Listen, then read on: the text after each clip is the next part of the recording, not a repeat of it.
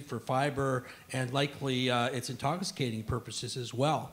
And about 5,000 years ago, there was a huge spread of cannabis in, in, in, in uh, Western Europe and Eastern Europe. And this was uh, through the Indo European culture. And Indo European culture is the ancestral culture, particularly in regards to language, of French, German, English, for fiber, uh, and likely uh, it's intoxicating uh, purposes the, as well. Ancient Persian and language, about 5,000, and, and even uh, the Tocharian language up in China. So uh, um, all of these languages have words for Canada that came from the root word kana, uh, um, the Indo-European root word. So this is like, you know, over 5,000 years ago, it was this huge trade. They're also saying it was uh, the, the foundation of the economy and the, uh, the, the, the root cash crop, you know, the first cash crop as well, some of these articles. And it's because that they found at all these different sites ranging across Europe up into China, uh, in Eastern Europe, Russia, uh, they found remnants of cannabis in all of these different sites that are related to these Indo-European cultures and, uh, and the spread of Indo-European culture. So it's this, you know, pretty um, amazing thing. It's basically, I had written about this myself in my book, uh, Cannabis and the Soma Solution. Mm-hmm. But it's great to see these, uh, uh, you know, professors coming to the same conclusion, you know. But I, I, think that I don't think that they necessarily read my book or anything. Right. I think they just looked at the same stuff, and that's what you tend to see when you actually take a look at the history of cannabis, the archaeological finds that are out there. That it was this huge agent world crop for fiber, for food, for medicine, and for religious sacrament as well. Mm-hmm. And Chris, I mean, you have been doing this research for when did this first sort of reveal itself to you in the research? I've been doing this research for over a quarter century. You know, looking into the history of cannabis and uh, collecting data on that. Uh, um, so, uh, but you know, there's been a number of archaeological digs in the last you know 15 years or so that have really opened up the whole thing. Uh, Victor Sarianidi's find of a huge uh, Haoma temple in the Bactria Margiana uh, archaeological complex in Afghanistan where they found a football-sized field that half uh, uh, uh field-sized temple that uh, half of it was dedicated to the making of the sacred beverage, and they know from remnants found at the site that this contained cannabis and ephedra, and at some points in time opium as well. Hmm. Um, and then that agent uh, find in China of 2,700 year old perfectly preserved cannabis uh, with uh, Caucasian mummies that were related to these same people, and a number of Scythian finds of cannabis as well, including more recently gold bowls and cups that were used for uh, preparing a cannabis beverage that were uh, uh, uh, mistakenly reported in the mainstream media as bongs and pipes. They didn't have bongs and pipes back then. Um, but, you know, so this is just showing just how widespread and important this, this plant was and how big of a commodity it was because it was a major item of trade in these routes. They're saying that this, you know, the ancient Silk Road was as much a hempen highway as a, as a Silk Road. Right.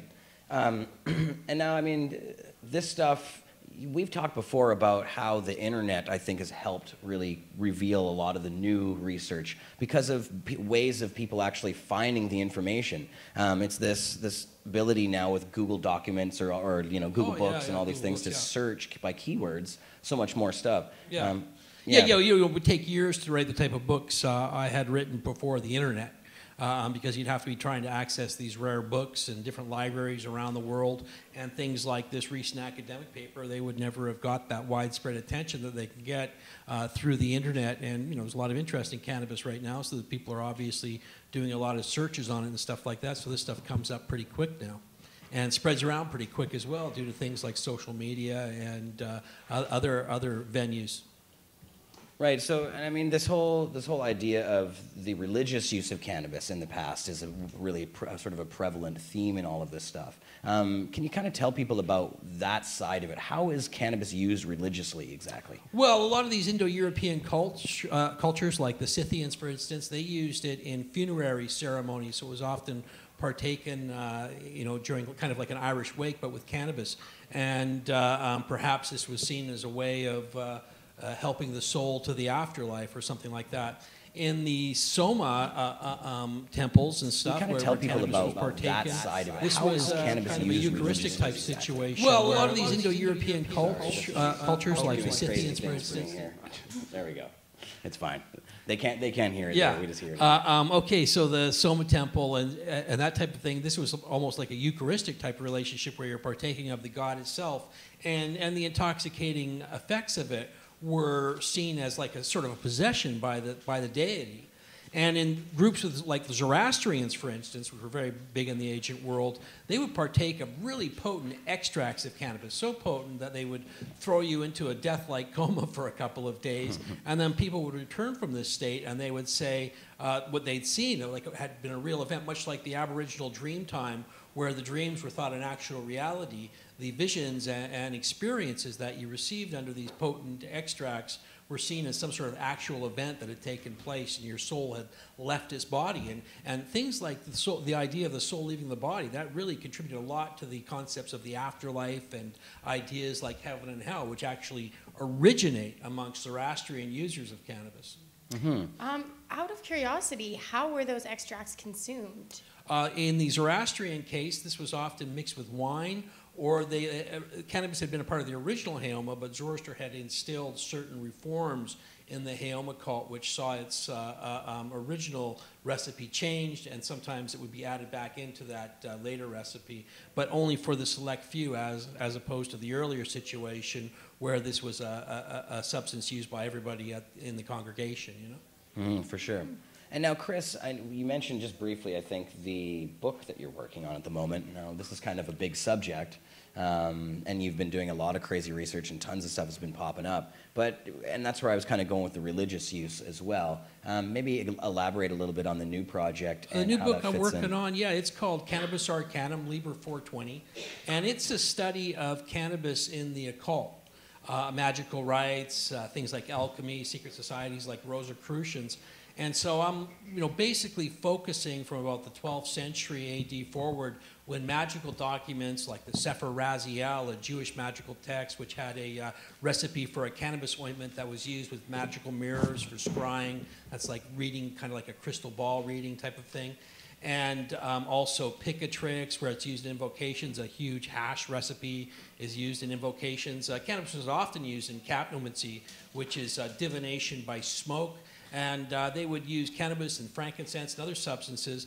And these substances would not only throw you into a, uh, a kind of uh, uh, uh, altered state through their psychoactive effects, but the smoke itself would be the material which the, the deities invoked and that, and that sort of thing would form, you know what I mean? And the lights from the candles would be flickering off the smoke, and perhaps with the aid of a, of a psychoactive substance, something would be easier to see, you know. Mm-hmm. Uh, um, so very major thing, and then also people like Francois Rabelais, 15th century monk and Bachelor of Medicine alchemist.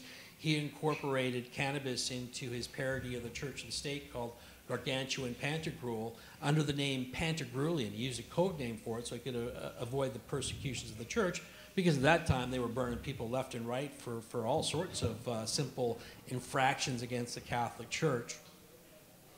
Uh, um, and then following from that later up into people like Aleister Crowley in the 19th century and early 20th century, Helena Blavatsky, founder of Theosophical Society, and other occultists from that time period where there's a real prevalent use of, uh, of cannabis. Mm-hmm. Yeah, Crowley in one of his the first issue of his Equinox magazine has a big section on. It's a 90 page essay on the psychology of hashish. Yeah. And he referred to it throughout his whole life in a, in a variety of other books as well. Uh, um, sometimes uh, somewhat more coded references and sometimes directly. But it was always uh, throughout his whole career uh, a part of his magical technique. And I think Crowley says the quote is uh, hashish loosens the girders of the soul. Yeah, he took that from the Zoroastrians, where they talk about the loosening of the girders of the soul, and that would allow uh, it to escape to do these astral voyages and whatnot. Mm-hmm. Yeah, and this whole idea of reprogramming oneself using magical spells or these kinds of things, it seems to me that cannabis is one of those vehicles for allowing that to happen, getting you into this elated state, yeah, or changing your brainwave state in some way to put you into a more receptive, hypnotic sort of state. Absolutely, yeah, shuts down the ego a little bit and opens you up. Yeah, for sure. Well, I'm looking forward to the book coming up. Um, and yeah, I mean, how? What you said it's 420 pages. You told me. I think you're. Yeah, that's what I'm planning on. Anyways. Planning. I'm so shooting for 420 pages. That's awesome. it's going to be pretty. That's a stomper of a book. Um, but yeah, I mean, how long do you think until the project is? Uh, I'm hoping that it's released on 420 of uh, 2017. So Fantastic. is what the plan is. So cool. Uh, done before that sometime and uh, in print by April 20th, 2017 is the is the plan. Nice. And so now we actually um, just on the Facebook page for Cannabis Culture published and on our YouTube page published Chris's latest or one of his latest speeches. Actually, it's the second latest speech, I think.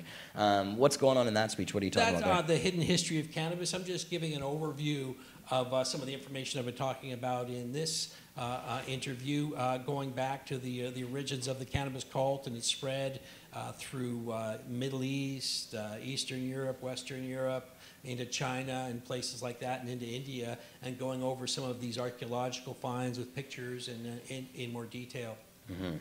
Cool, man. Um, and uh, yeah, you were also speaking at the Cannabis Hemp Conference that we had on the weekend. Yeah, wonderful conference. Yeah, Salimeh will be here. Yeah, she's coming on the show today. Oh, Actually, great. I think she's going to be here around five. Happy 420.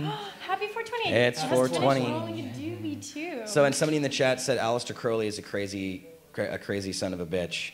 Um, He's a wild guy. Probably be sure. true, but you, you know, I think these- a lot of people that Yeah. are critical of him have never actually read any actual Crowley. Right. They, they've uh, you know read read about him, but they haven't actually read his own writings and seen what he had to say. You know, and uh, you know, no doubt Crowley did things in his life I, I could never defend. Uh, um, but but he wasn't like a yeah, child murdering lunatic. It doesn't take away from his genius and his uh, incredible uh, depth of knowledge uh, about all things occult. Yeah, a lot of people ask me about Crowley because I reference him and they say, oh, isn't he the crazy guy that kills kids and all this stuff? Yeah. But it's just a matter of his poetry is steeped in sort of uh, these illusory statements Yeah. that's meant to challenge people and challenge sort of other ways of thinking. Um, you know, and especially back when Crowley was writing things, he was really trying to sort of piss the church off Oh, and piss, piss the people who Uh, were take these Crowley things and seriously. magic, like Tantra, has a lot of taboo breaking, and, and Right. uh, breaking those taboos uh, uh, alters your reality and your concept of reality. Yeah, for sure. Um, keep the peanut gallery down over here, guys. Sorry. Um, so, Chris, I really appreciate you coming on. Um, yeah, I mean, this this whole thing. There's been a bunch of these media stories out there. New Scientist was one of them. New Scientist, Men's Journal, all sorts of them. Yeah. Yeah, and so and it was uh, they were looking at particular archaeological evidence, but I mean this stuff's been around. It's just a matter of putting it all together, and I guess more will be revealed as we go. Um, and we'll watch Chris for more of that stuff. Thanks for coming on, brother. Thank you very much, brother. Take Yeah, care. thanks, nice to join you. Awesome. So yeah, man, people, you know, the, the originators of Western society were all slanging and smoking. It was a big trade thing. Speaking of smoking, we should show off these beautiful buds I brought down here. We should. Mm, let's Yeah. see here. Mm, These are some of the weeds that are getting rolled up for joints for our There's lounge and dispensary. Oh, it's uh, the bud cam is square for some reason at the moment. I don't know why. Oh, I haven't. I didn't reset it to full. Here, we can. Sh- can you show it off there? Yeah, so this is sticky fingers. Ah, I'm changing the size of the camera. Hold on a second. Oh shit. There it is. That's the sticky fingers, which is a funny strain because I haven't been able to find out what the lineage of that strain is. Um, we, we just got this in. Yeah, it's not working. You got to put your hand behind it Can you pass me a piece of paper? or a piece of paper. Sure, that would be good. Um, yeah, the sticky fingers. I've been looking online, so if anybody in the chat knows what the sticky fingers is or what the lineage of is of it, it looks like a cushy sort of thing. I've looked it up online, and in- indeed, it is a strain, and it's been talked about online everywhere. I saw somebody else asking in uh, one of the one of the grower chat rooms where it comes from, and nobody had any answers. So um, it looks pretty nice, though. We also have a 3.4 nug, 3.4 gram nug of hemp star. Wow. Show them that one. Yeah, the opposite way a little bit. Yeah. here. So. Yeah, here. like there we go. There you go. You gotta hold it behind it. That's silly. Like this. There. It's hard to hold it behind it because my hand is there. Mhm. Little You're back. right. It's gotta be a little further back though. Let's Just pull, pull it back a little bit further, and then pull it in. Uh, it doesn't want to. Maybe it's just not gonna do it. No, that's all right. That's how it goes. Sometimes. Sorry guys, we tried, but We they're tried, really beautiful buds. Yeah, they are nice nuggets. This is the hemp oh, star. I can my tell. fingers are sticky from the It's super right sticky, away. that stuff. These are mm-hmm. major quads, this new hemp star. Oh. It's great. You can get it right now at 1674 Davie Street at our Life's, what is it, personal dispensary? Personal dispensary. So we're going to bring Da- Dana Larsen up next. Dana's in the house, and Dana's been in the media lately. We're actually going to play a video before we bring Dana on. Hmm. We'll bring him on in media form, and then we'll bring him on in reality form. Uh, so check this out. Dana Larsen in the news. Pot activist Dana Larsen offering. It could be the boldest move yet for a local pot activist. He's been ordered to shut down his dispensaries, but instead he's doubling down, now offering weed without a doctor's note. As CTV's Jonathan Glasgow reports the question now, will police respond? Hey there, got some ID? I sure do, sir. No prescription, no problem. They have to have ID to show us that they're over 19, and that's the only requirement. Anyone of legal age can now buy marijuana at the Vancouver Dispensary Society, including those without medical conditions. I believe cannabis should be available to all adults, and so that's what we're doing here at our dispensary. The city says it has no authority to regulate marijuana sales.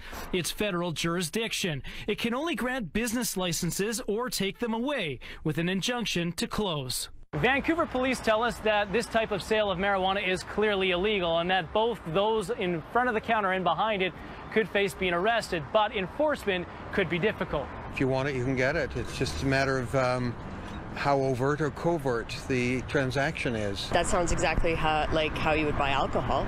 But if it's illegal, I wouldn't. On Tuesday, 10 more pot shops in Vancouver were hit with court orders to close, making a total of 27 this year. Many like this one waiting for a fight in court.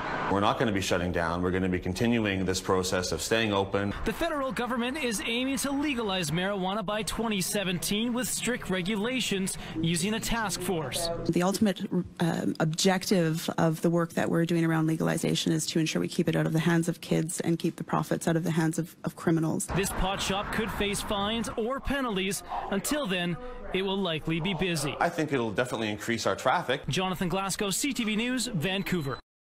Yes, it will definitely increase traffic. Dana Larsen's in the house. There he is. Hi, Dana. Do you have a microphone over there? You should grab one. Oh, there we go. There you are. Yeah, you want to maneuver that in whatever way you like there. A little closer. Zoom right in on the beard. There we go. There you go. There he is. That Hello. handsome mug. Hi, Dana. How are you? Hi, I'm good. Thanks for having me here. And Yay. uh, yeah, as you can see, we've done some changes to our dispensaries and Yes. mixing it up a little bit and deciding to uh, provide to everybody. I, I was surprised it was such a big news story, really. We didn't do any press releases or anything. I just made a post on our Facebook page and it really picked up. And, you know, there's a lot of dispensaries in town that basically have that same policy but they have some kind of oh you've got to write on a piece of paper that you're a medical user or you've got to Right. bring us something i don't know but uh, the, uh, the city's own rules they have two classes for dispensaries right they have compassion clubs and they have marijuana retail sales outlet a marijuana retail outlet Right. and the compassion club rules that they've set up are so difficult that not even the compassion club qualifies as a compassion club as they currently stand right Oh, so jeez. nobody in the city as far as i know currently qualifies as a compassion club without making serious changes Yeah. and so we decided to go over the retail marijuana sales method, and um, so we put out the news, and it got a lot of. We got definitely got more customers, and people are interested. And a lot of people are still medical users. They just don't necessarily have the paperwork in place, or haven't been able to get it, or are afraid of being on a list at our dispensary in case things go bad, and their name gets out there somehow. But to me, it's still medical use. It's just non-prescription. Medical Right. use is how I'm just describing it, or personal use. Personal you know? use, I like don't really like the word recreational use. That can be an aspect, but it, it's more of a, a personal thing, I think, or a spiritual thing, or a medical thing, whether or not you've got an ailment. Right. And so that's how I like to look at it. And uh, it's I, I I expect other places are going to start being open. One thing about that news broadcast that was incorrect. It said that we we're both of our places are not complying with the city, but that's not true. We have two locations, and the one on Thurlow in the West End was recently granted a variance by the Board of Variance, and we're in the process of, of completing the rest of the hurdles, but that's the biggest one.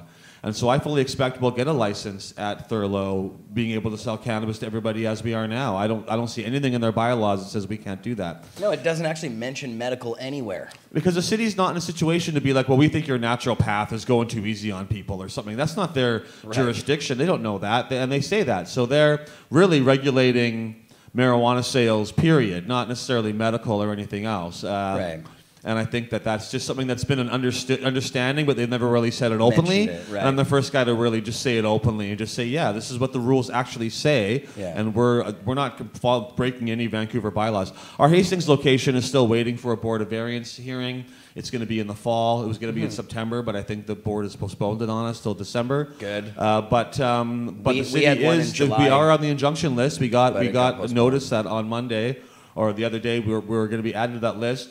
So that's not good, and we'll see how it goes. But uh, we're going to do everything we can to stay open and, uh, Yeah. and fight all this stuff in court and in the streets and politically and every other way that we can. Yep. Now, there's been a few other dispensaries in town who you mentioned do the same kind of thing. I think Don Briere's Weeds allows you to get a gram or something if you don't have a note from a doctor. And of course, our cannabis culture dispensaries, when we opened, they've all been completely for personal use, um, not medical. But yeah, and you know, in the, in these rules, it doesn't actually mention that anywhere. And I think the city was really doing that with the future in mind. Like you know, they knew Trudeau was saying he was going to legalize and stuff, so they've kind of been plotting this for a while, I think. Um, but Dana, have you had a per, any sort of personal conversation with the Vancouver City Councilors, any of them, like Adriane Carr or Andrea Reimer, about this stuff? Can't we reach out to them and I want to no, talk I directly haven't. Not them. recently. I mean, we last time I talked to Kerry Jang was quite a while ago, and that was in a meeting with a few other dispensaries that we had with him, and it wasn't a very satisfying meeting. Right. Um, but uh, but yeah, I'm looking to talk to some of them, and there's other things I want to talk to our council about because we're also looking about.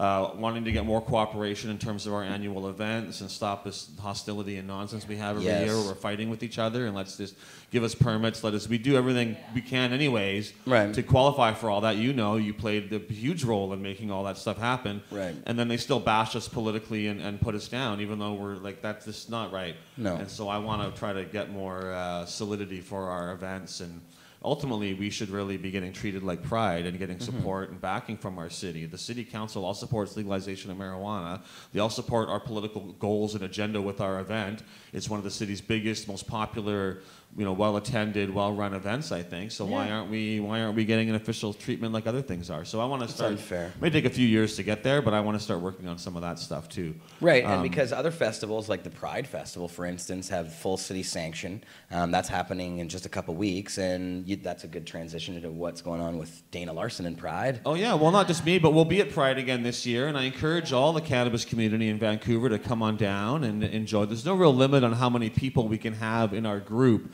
We've got a, a, a truck, and we've got a, you can adjust that a bit if you want. I just kind of yeah. All right. We've got a truck and we've got a, a flatbed behind it, and we're going to have quite a few people, and we're going to be decorating it up and getting some banners and having some fun with it. Uh, Pride is a wonderful event where there's a lot of people coming out, uh, and I want to show our pot pride as part of that diversity and part of that uh, fun and celebration, and also showing our support uh, for the broader community and for the LGBT community, which are also often um, overly punished for, for drug and cannabis offenses and overrepresented, one of the groups that are overrepresented in that area as well. Uh, but anyways, it's a fun time, and I, I think we're going to have our biggest, best appearance at Pride ever this year. We're certainly putting the most effort into our float and, and Mm. making it uh, quite impressive, and I think it's going to be beautiful. So I encourage people to come down and participate. Uh, if you look at the Sensible BC ca slash pride in a couple of days. There'll be something there, but I don't think there's anything there right now. Cool. And now, Dana, of course, at, I haven't had a show since Cannabis Day happened. And of course, there was a little bit of friction at this last Cannabis Day with some other activists who did a hostile takeover of the event when we were there. Um, yeah, they kind of like came after us, and it, it was pretty brutal. And the cops kind of at first, the cops actually arrested one guy who came running at me and knocked me over while I was sitting on the stairs um, with like something rolled up in his hand. It was some sort of, it would look like a yoga mat to me, or maybe his sleeping mat. I believe he maybe he uses it to sleep. These guys look like they're maybe slept there, or they often sleep there. um, so you know they were. They were pretty aggressive. Now, these guys, you wrote a couple articles about this now. Yeah, I got one more to come. Um, I've written two pieces, and it's a sad. I hate bringing this kind of stuff up, and I I, hate having to deal with this stuff, and it's not really what I want to be talking about. I know. But uh, and I, you know, I try to when there's activists or people in the cannabis community I don't get along with, I usually just try to ignore them and do my own thing, and not to Right. show up at their stuff or cause them problems. We don't have to get along. We don't have to be buddies all the time. We've got a lot of personalities, but but Robert Moore and his group World Cannabis are very hostile and Robert Moore has a lot of personal issues or thinks he has personal issues with me, and he's harassed me in a lot of personal and unpleasant ways for almost two years now, and um, done a lot of stuff that I think is beyond the pale when it comes to you know, there's one thing to disagree politically or to write an article about me on your website that you don't like me or something. I mean, that's fine. I don't have to like it, but that's the way it goes, right? But putting my daughter's phone number on the internet or stickering my neighborhood with his stickers all around my house and stuff or doing other calling my mom at home to talk to her and tell her how bad I am and stuff. Like that stuff's not cool. And there's a whole bunch of stuff. I don't want to go over it all. Right. but it came it's in my articles if you want to see it on Facebook. But it came out in public at the Cannabis Day rally and earlier at the Global Marijuana March where they essentially tried the same thing but it didn't work you know. They tried to take over that event and pretend it was their thing and it kind of failed although they still go to the front with their big banner and you're welcome to bring a banner but to push everyone else out of the way and go to the front after you've tried to take over the event and stuff and it's just not cool right like No. they're not making room for everybody else and so at cannabis day yeah as you know they showed up very early in the morning and set up their stage and set up their sound equipment and people say well why didn't you guys get there earlier and set up and it's like they would have set up right next to us if we'd done that anyways or in Mhm. the other area it would have been two sound systems going Mhm. and it's not the vibe we want for cannabis day with all this dueling kind of stuff going on and you know they got to do their own events and i'm happy for people to do their own stuff and do other things and i'll try to promote it or come out if you're doing something good but that was really not on and there was a bunch of shitty things that happened and it, in the media just presented us as a bunch of lunatics who can't get along with each other Yeah. and uh, and these guys need to do their own stuff. But you know, if you see pictures of their own events, they get a dozen people coming out, and that's how many showed up at our first cannabis day and our first 420. And they need to put in some time and energy and spend 10 years building the momentum that we've done, right? But pretending that they say, oh, it's a tradition to get together with the art gallery on Cannabis Day. Mm-hmm. Yeah, it is a tradition, but they don't mention who started it or how we fought for it or what Right. happened. And even people like Neil Magnuson, who got you know arrested last year, Right. and they're banning them from the event, and they're bringing in crazy people, and they're then they're all after it all all disclaiming any responsibility from each other. Oh well, lesbian stripper Right. fighter club that And whatever. Like they also claimed that we were spitting at them, me and you. They said Well, you and Moore I. likes to. He says Yeah. that a lot. He says that about you earlier, and then he said that about me later, and it's an easy accusation to make. Yeah. And if you don't really It's know what's going true. on, maybe it seems like you know both sides are at fault, and I don't know. Maybe we could have dealt with stuff better, but I feel like we just kind of passively ended up leaving the area rather than creating a huge conflict. We don't want riot at Cannabis Day being the headline. We don't No. want you know this kind of stuff. So we just try to do our own thing around the side. But it was a shitty situation, and my, my main concern is not the past; it's what's going to happen next year. Yeah. Because I don't want this happening again. You know, I don't want them showing up at. I mean, I want them showing up at stuff. They're still welcome to come. Yeah. I'm not banning anybody. Rob Moore and World Cannabis can come to Cannabis Day. They can come to the Global Marijuana March. They just can't have the stage. They can't take over stuff. They can't make their own speakers list and bring their own thing and say it's their event, right? But everyone is welcome. I've never. People I don't like or don't like me, I don't think we've ever said anybody can't come to an event or is banned from the event. Everyone is welcome, regardless of how I personally feel about you. But people on the stage and the speakers, we try to bring in good speakers and good music, and that has to be organized a certain way. And if you don't like us or don't like our stuff, then don't show up. You know, but to come and try to take over and be hostile and pretend that there's no history to these events and they come out of nowhere and pretend that they just exist as a tradition that is anybody can do whatever you want. I mean, can you imagine if we had six or seven groups feeling that way and everybody's setting up stages and music and crazy stuff and we're all fighting with each other? Like, Yeah. That's not right, you know, and you And- don't have to. You know, one of the guys I, I just realized, or I found out at this cannabis day, that this is the guy who, in the years previous, there was always one guy who wore an anonymous mask who tried to take other people's spots, like uh, the in, Inhale or Ignite place, and others, in causing a disturbance. Remember that guy? That's one of those World One Cannabis guys. guys. Yeah, and he and he admitted to that. Oh, I'm the guy who's been disrupting it for years or whatever. So Is it's that Nevada? it's the the other guy to, to Robert Moore, the skinny guy with the um, he's like tall, sort of. He came and he actually spoke here at our cannabis culture gathering of all the dispensary people and everything. Ron Woodruff. I think that's him. Yeah. I, Well, I Yeah. mean, some of these guys I'm just kind of finding out more. But I mean, they've been around in the community doing stuff here and there and everything, but they, they feel either they get slighted or they feel they're not getting enough recognition or they just want to do things or whatever. But or they played one year at an event and got to perform music, then the next year they don't get to perform, and for whatever reason, and they get hostile or upset that they're right. And uh, but uh, yeah, Ron Woodruff is also likes to write articles about me on World Cannabis about how I stole money from Sensible BC and all this weird stuff. Oh and of course, he doesn't call me to get a quote or quote any actual person anywhere actually saying any of this stuff. It's all this weird rumors and innuendo or whatever. And so I don't even really care about that. You want to write shitty articles about me? Go ahead, right? But Yeah. showing up at our events and taking over. that was like, you know, even the cannabis day last year when the police came. In a way, that was better because we rallied as a community. We stood up against it. We, we got together. We, we, we it united us. And so, although it sucks to have the police arresting people, having other groups showing up, hostilely taking over, in a way, is like worse because it's like our own, hmm. it's supposed to be our own people and our own community all fighting with each other over this stuff. So, anyways, I'm going to release the third and final part of that Facebook post about what actually happened on Cannabis Day in the next day or so once I finish writing it and getting it online, and that should be mm-hmm. it for my statement about that. But I would just say next year, let's make sure it doesn't happen again. And the way to do that is if people try to take over, that the community says no, it's not your event. We don't, Right. You're not welcome to be on that stage. Right, exactly. Awesome, Dana. Well, thanks for that. I really appreciate it, and uh, and everything you do, Dana. And I'm really glad to see that you're taking that next step with the dispensaries. I think if all the dispensaries come out and do that now in Vancouver and Toronto, or a bunch of them do, it would be really helpful, and it would really push this sort of I'd rather people just be open like that and do it that way. I know we're all kind of creeping forward and we all shuffle forward towards this freedom. One person comes out a little bit and everyone follows, and somebody else goes a bit further and everybody follows. But so I'm not the first dispensary in Vancouver that's selling to every adult. But I think I'm the first, or I guess the second after you guys, really, to say to, to, to publicly announce that, and not to be like, well, you need some kind of medical thing, but it's really easy, just whatever, right? Mm-hmm. Yeah, we've done it. We also did it publicly, and when the whole Toronto thing happened, we opened the day after and said we're doing recreational and stuff. But that's it's great the amount of press and things. I, I love it, um, and I think it's going to have a big effect. But I, I mean, I wonder about going and having and meeting with any of those city councilors and stuff, or the, the local politicians, and just uh, you know this whole process. In the past, Adriane Carr and uh, Andrea Reimer had both been on our side a lot. So uh, we have a board of variance meeting coming up too um, for one of our stores, the our Beatty Street location um, they sort of rewrote the rules and sort of edged it out uh, after the place was purchased and stuff. Um, For, for with Davie or for? that's the that's the Beatty Street location. Beatty, right? You guys got some money. Yeah, we have a board of variance hearing that was in July, but it got postponed. Um, so what's up, Carly Pants?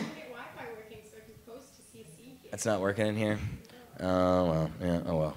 You can do it after the show or something. Um, so thanks, Dana. I appreciate you coming on and everything. Right on. Good stuff. anything Thanks for having me. I, you always have so many projects. I always forget if I'm asking. New book, Pie Eyed Piper, coming out in a couple of weeks. It's at the printers now, and either my website's getting a revamp, so it'll be available on there. Uh, but uh, it looks beautiful, and I'm excited to have it out. The Pie Eyed Piper. Pie Eyed Piper. I love that one. That's my favorite Dana story, actually. I'm yeah, it's my, it's One pretty my awesome. It's fantastic. Thanks, Dana. Okay, bye for now. Excellent Bye, work. Dana. So we got some more weed to smoke here. We do. I'm pants. rolling up this hemp star right now. Nice. Yeah. So we have a lot of guests on the show today. I don't want to wait, like waste any time just chilling too much. Um, next on our show is my man Wayne from Extractor King. I got that right, right? Yeah. And so now we have a CO2 extraction setup. He actually here on the show. Now Wayne's going to bring this in. Um, we're going to have to grab a camera. Maybe we can use the um, the tripod cam, the hot seat cam to to show off what's going on here. Um, Maybe we could just put it in the hot seat. yeah, we could put it right over by the hot seat, I suppose. We could put we could put it next to you or move the cam back, and then you can come sit right next to it. And uh, yeah, like even if it's just right right next to the chair there or something, so we can see it. Yeah, and then you can sit in the chair right there. Be perfect. Yeah. Yeah, there you go. Perfect. Yeah, and Marc's here. Marc Emery's in the house. Oh, thanks, man. Beautiful. Cool. Extractor King. Let's see there. So we'll get you on cam. Make sure it's all good. The hot seat cam. There he is. And there should be a microphone right here for you, man. Awesome. So uh, how you doing, man? I'm awesome. Good. Doing really good. I'm You brought the unit to be here. Alyssa, can you give us the full view of the unit, just like an up and down kind of thing? Um, that's the CO2 extractor right next to you there. Yeah. Thank you. And uh, hopefully you can tell everybody all the specs, everything, where it's available. and Yeah. what it does, and- That's what we're doing right now. Hopefully it'll be available in one of your stores. We'll see. We'll talk. Cool, later. Alyssa. Yeah, and show Marc too for a second there so they know where the voice is coming from. There's Marc. Oh, there's Marc's half of Marc. There's Marc. Uh, yeah. So um, I invited Extractor King to come on and show his uh, machine because I think sit, they're Mark, really if you want. cool. And uh, by the way, so what's the uh, retail cost? So what is somebody gonna? What is this gonna set someone back? This unit here retails at 3,500 bucks. But you see, that seems eminently reasonable to me. Yeah. Um, that would be 35 Canadian, 3,500. Canadian. Oh, that's the cheapest I've ever seen on the market. Even the guys in the U.S. who also promised to bring me a, a sample machine, theirs, um, theirs was 3,500 U.S. minimum. It couldn't be less than that. When I was in, I saw it at Spannabis, um, at, uh, and I was in Sevilla Expo. Go to all these expos, you tend to meet people coming up with their new material. But I mean, I saw an extraction machine that went for just under a million dollars that was on display there. So you can find extraction machines from $90,000 to a quarter million dollars to a million dollars. So, you know, when I heard about your machine, if this thing is practical and efficient and does the job, man, it could be a big item in this community around here. Anyway, thanks for coming on. Well, thank you very much. Yeah, man. I wanted to ask you, I mean, for the people that don't know, and just the basics of what a CO2 extractor does, like give us the rundown on what this unit right here is capable of. Well, this unit here is a triple. Um, you can use either uh, distilled alcohol, you can use uh, butane, or you can use isopropyl alcohol. So either or. And um, it's a hydrocarbon extraction unit. The top tank here is where you put your um, solvent in the top. You put your uh, product in the middle column in here. Then you put your dry ice in the sleeve around there. And the dry ice is what actually makes the product really high quality. It takes all the lipids and fats out and, you know, just makes it not so dark and harsh. And uh, yeah, you run the butane through here. You let it soak in the column for, you know, anywhere from half an hour to an hour. And after that, you pull the bottom valve here, and it goes into the bottom tank here, the reclaim tank. And after that, you uh, run some water through the jackets on the bottom, hot water process here, which starts the thermal dynamic reaction of the butane, which will start bubbling at a very low temperature. And then you open this valve right over here, and uh, up here, sorry. And once this valve is open, you have the dry ice in the top sleeve here in the butane tank, and the thermal dynamics start happening. The butane will turn into a gas from a liquid state, and it will transfer up the pipe into the top, and when it hits the cold, it recondenses back into a liquid.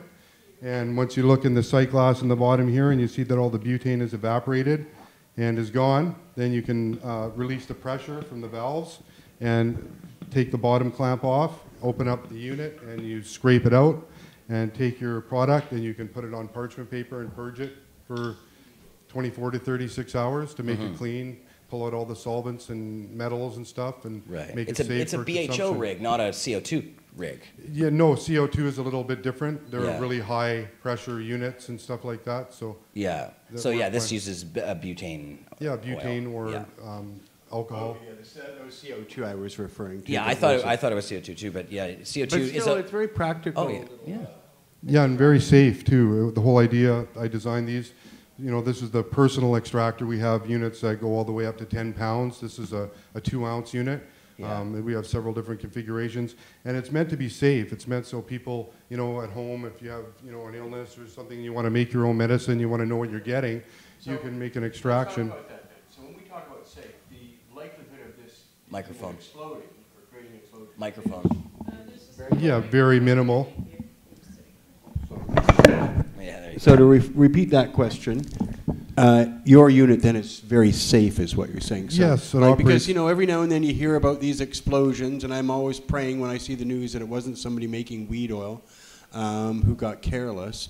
Um, so when you say safe, why is this safe? Why will? Well, it's a closed Why loop can it be done system. at home safely by an ordinary person? Well, usually at home, people use open blasting, so they blast through a tube and they blast into a Pyrex dish, and Right. then when it evaporates, it's all evaporating into the air. Yep. And we sell those very things. Yes, so. exactly. Well, this one is all closed system, so from the start to the finish, you don't actually smell any butane at all. It actually transfers and goes back and recondenses. You close the valves, and there's no gas escaping. There's no sparks. There's no um, pumps being used. No electricity involved anywhere, and it just makes it, you know, the closed That's system. pretty cool. That's pretty cool. Yeah, and so, and I mean, unless there's a leak or something like that, the danger isn't really there because the danger is when there's a mist of butane and all these things that can catch on fire, right? So the closed loop idea just keeps it contained. Yes, Um, now, I mean, things there, are there still is a danger, though. I mean, I, I have There's seen, always a danger. Yeah, I've seen videos where somebody was using a system that's very similar to this, and I think something happened to it while it was being used, like something fell on it or something, and that caused a problem, and that blew up. Um, but you know, there's always a danger when you're using Right. exploding. Well, gas here's the thing such. about two Oh, for sure. hazardous and dangerous things is that you can at least take precautions to minimize or eliminate the danger. It's Right. just good to know in advance what the potential dangers are. Absolutely. So, as always, I guess work in a ventilated area as well. Yes, well-ventilated area, and I also provide, you know, instructions and tips on keeping Oh, safe. so and I do can they get it. a tutorial? So if someone comes into cannabis culture and buys a unit through us, you give them a tutoring or a Definitely, I can give them a. a- Okay, like a two or three hours hands-on or something? Definitely, I've done, you know, extractions for people. Last night I sold a system to somebody in, uh, in White Rock, and I went in there and I Oh, guided great. them through a complete system to keep them safe, and the whole time gave them pointers and, you know, instructions. So where are they going to find you online? They can. Hopefully, you'll leave a demo model, and we'll work out something. But at some point Definitely. in time, I'd hate to have a valuable piece of equipment get neglected or abused, though. So Right. you know, we definitely want to have it where somebody responsible is looking after it, right? So that's going to be the key thing. Well, so, and in a place So that- possibly in the store would be good, on, in behind glass. Right, exactly. Some, you know, some kind of. In fact, I've got a. There's probably a case we could just case. put that right in, and Yeah. we could just stare at it Oh, Agreed. Yeah, for Okay, well, what you want to do is after you're done here, talk to Laurent, the manager downstairs, about what Sure. you've got. They'll all be fa- he'll be fascinated anyway. So just say you want to bring this unit in. Here's the retail price. Here's what we get if we sell one for you. Um, plus, they get that tutorial and stuff. So, um, so there you go. So Online you- though, where did they find Yeah, you? where Uh, would they you can it? find us on our website, extractorking.com. Beautiful. That easy.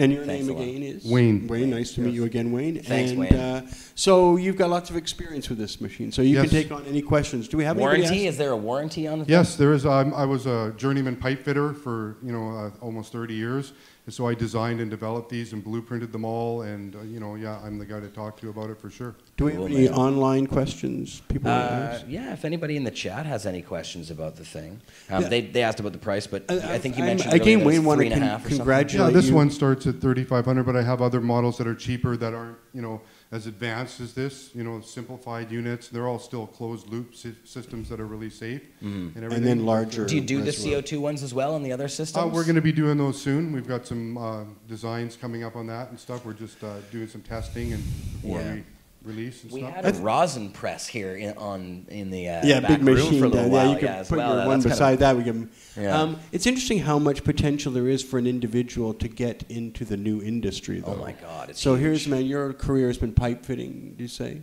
Yes, Right. years ago. So before here, how he disabled. segued into Oh, yeah. making some passion. I'm sure for cannabis that he has into some practical business thing that could, you know, has quite a bit of potential. I think. Here's a Um, question from the chat from C Ray. How do you distill your butane with that unit? As in distilled, you just it goes through the unit, and then the thermal uh, reaction happens in the bottom. When you heat the butane, it starts bubbling and turning into a gas, and then as it goes up the tube, because the top uh, butane, uh, any gas will always chase the cold. So there's a dry ice in the top butane tank, which chills the top tank. So the bottom tank is warming, top tank is cold. The butane goes up the pipe and recondenses back into uh, a liquid. Cool. Wow. Does that satisfy them? I guess so. I will see. C Ray will let us know. I'm sure it does. That seems like a lot more info than I even know what to do with here. So, um, but yeah, man. Wow. It's. I mean, it's a bit of a complicated system in ways, but I guess you know if they have the walkthrough and figure it out and everything, it's you know it, it can be done. Well, by, here's the thing too. It gives people an idea that you know what is the price of shatter. You know what would it, what would I save if I had my own unit?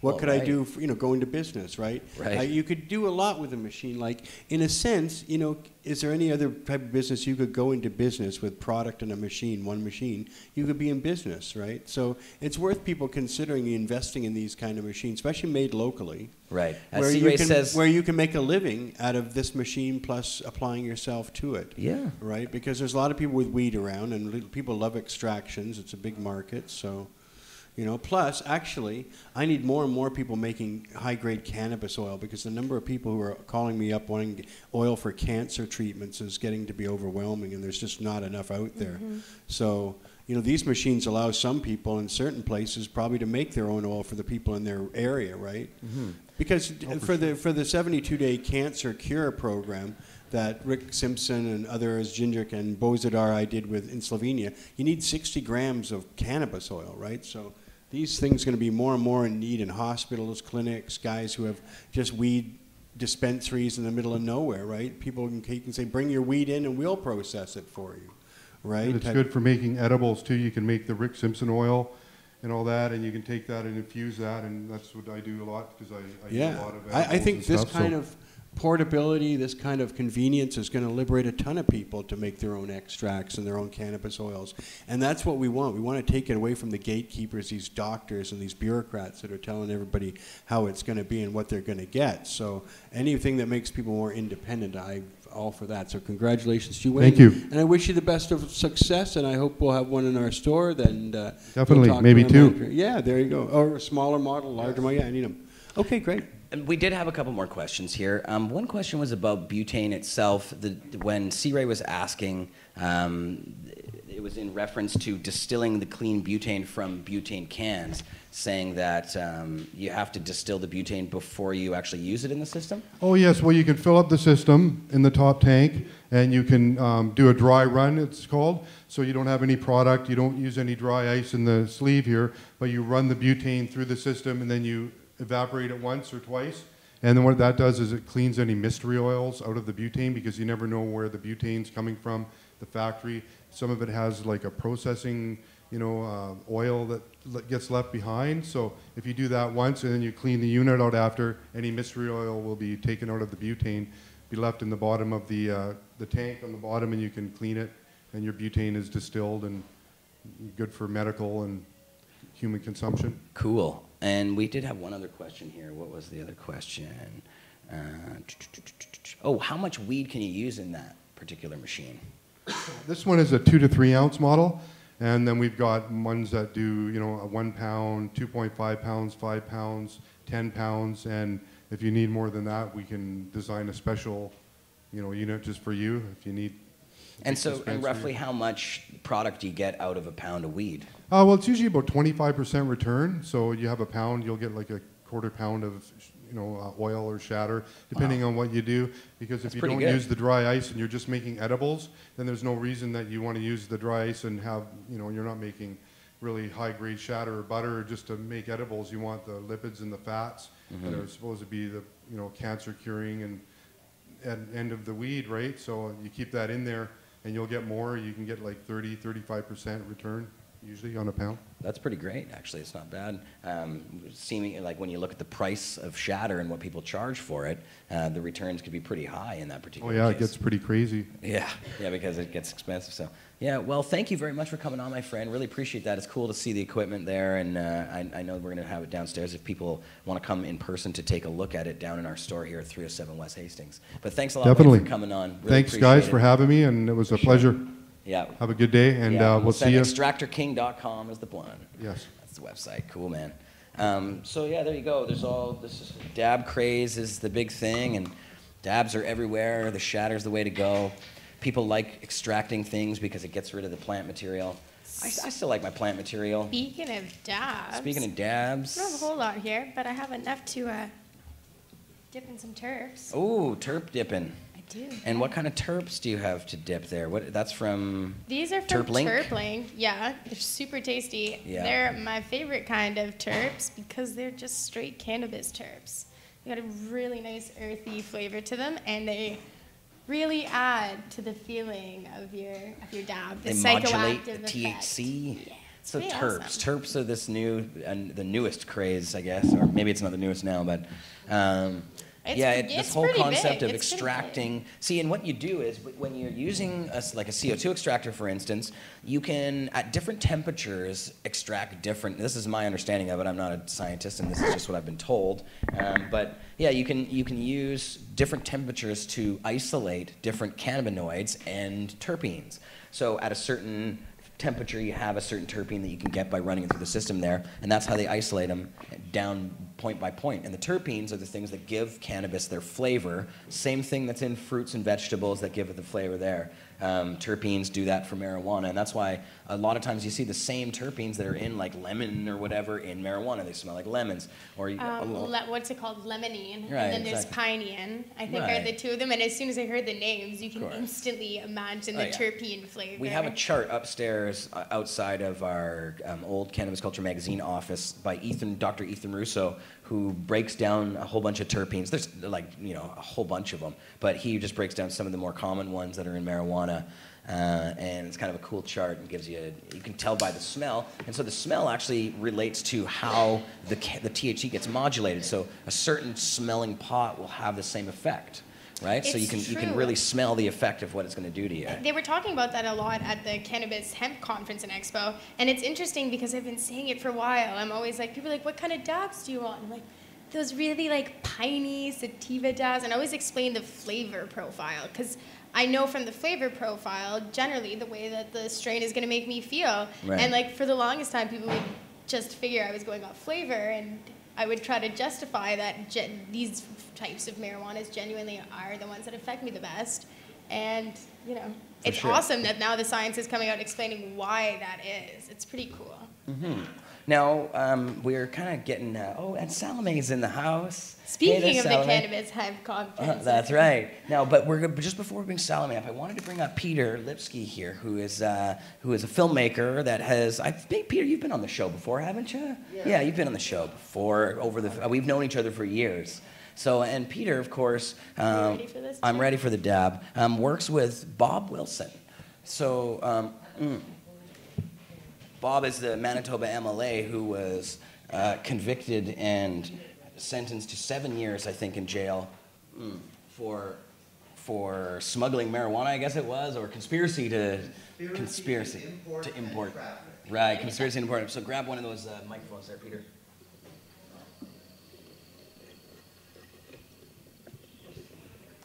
super terped up dab. Mm. What does it taste like? Tastes like tomato soup. That's it's oregano. It tastes like oregano, eh? Yeah. Yeah, the tomato soup Mm. dab. Yeah, What's like nice pizza. about it is there's all these flavored dab like terps coming out right now. You can really it's got that earthy hmm flavor to it, so it's nice. Mm. But it has yeah. more than that in it. It's more than just pizza. It's like a sweet flavor in the aftertaste. Yeah, it's nice. Good dab though. So Peter, there we are. Peter's in the hot seat. So there he is. Oh, and he's got his old uh, extradition, the the BC3 shirt there. Free Marc Emery and the and Michelle Rainey and Greg. Peter, good to have you on Pot TV again. Um, so Thank this is the camera that is. Uh, that's there you go. There you go. So Thanks, uh, Peter, tell us about what the project is. You're making a film. Oh, Uh, a feature-length documentary. The title is uh, No Ordinary Trial.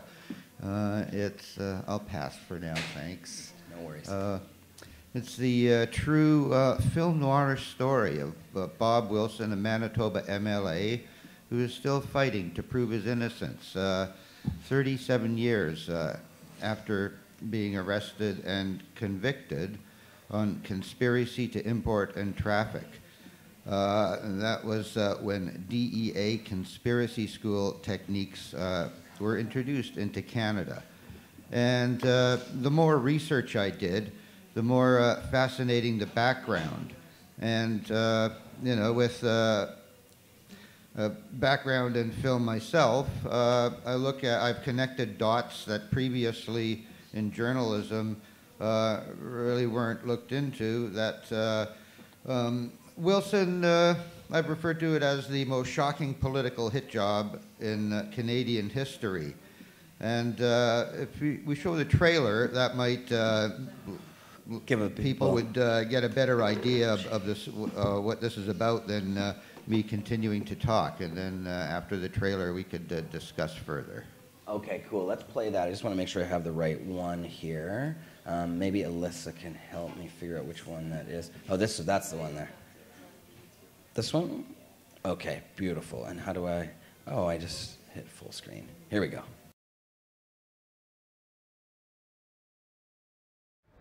Bob Wilson, I was a rising politician with a great future. I became uh, Canada's first political pot prisoner. Lyon called me into his office with Mercier present and said, uh, We don't mind you criticizing lawyers, but we want you to promise you'll never bring in a private member's bill to do away with their grants. And I remember his words lawyers are our friends. We're standing outside the law courts building, as those are the steps they led me up to the courthouse for my hearings and, of course, eventually the, the trial itself. My name is Jerry Chen. I'm the daughter of Mr. Bob Wilson, who, uh, in my heart, was wrongfully convicted. On May the 10th, 1979, the uh, RCMP were probably stationed right where I am. Shaking my head even today, and why I continue is because I was up against people that had studied the plans of the uh, DEA and all the new techniques that they were learning is how to, on the war on drugs, how they were going to convict everybody through conspiracy.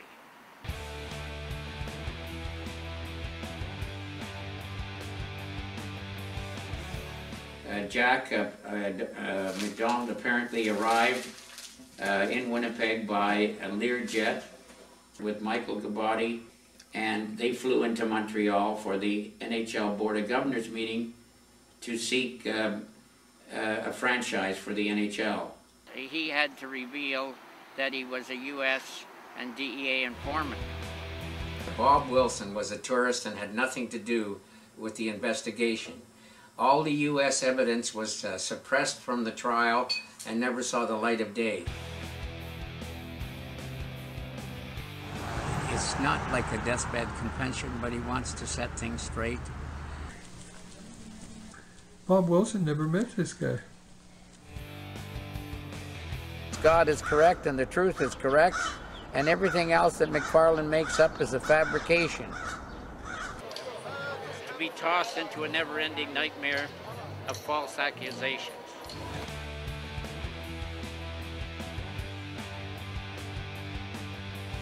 I am tormented as we speak. I spent most of my time trying to overcome my two convictions. And I remained a loyal supporter of Spivak. And uh, I guess the, one of the things they always say about me, I went down with the ship because I felt that he was the right man to be Premier of the province. I'm still fighting those wrongful convictions to finally overturn the conviction for Bob Wilson. Democracy is in no danger because our justice system will never, ever again frame people for career purposes.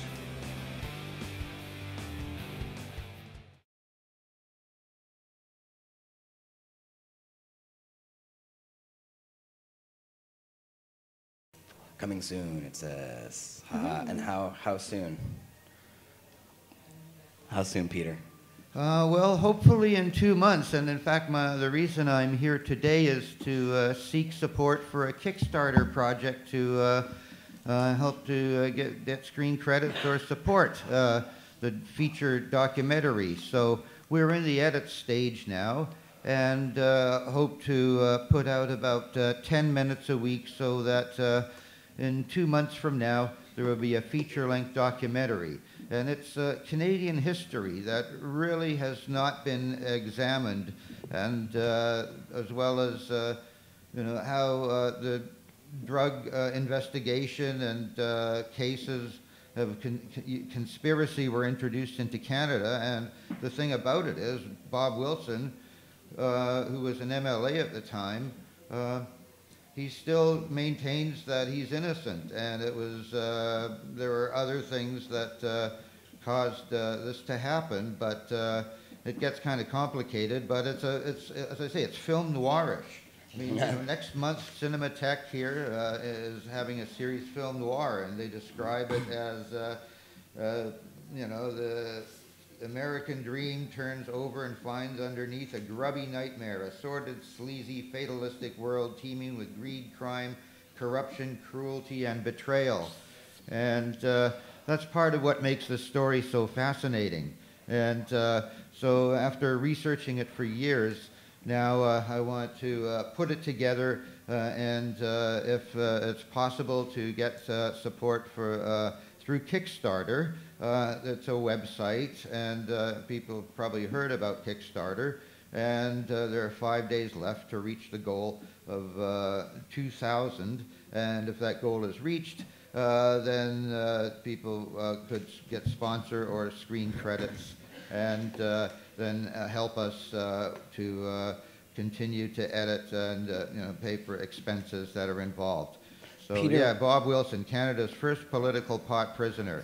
Uh, and uh, there's a film called uh, Square Groupers. It came out in the U.S., but it really hasn't been shown in Canada. It's about the Black Tuna Gang, and that's Operation Banco. And in Canada, it was the Operation Enterprise. So uh, yes, uh, stay tuned. Uh, we hope to have this out uh, for a premiere at the Winnipeg Give Me Some Truth Festival, which coincides with Bob Wilson's 82nd birthday.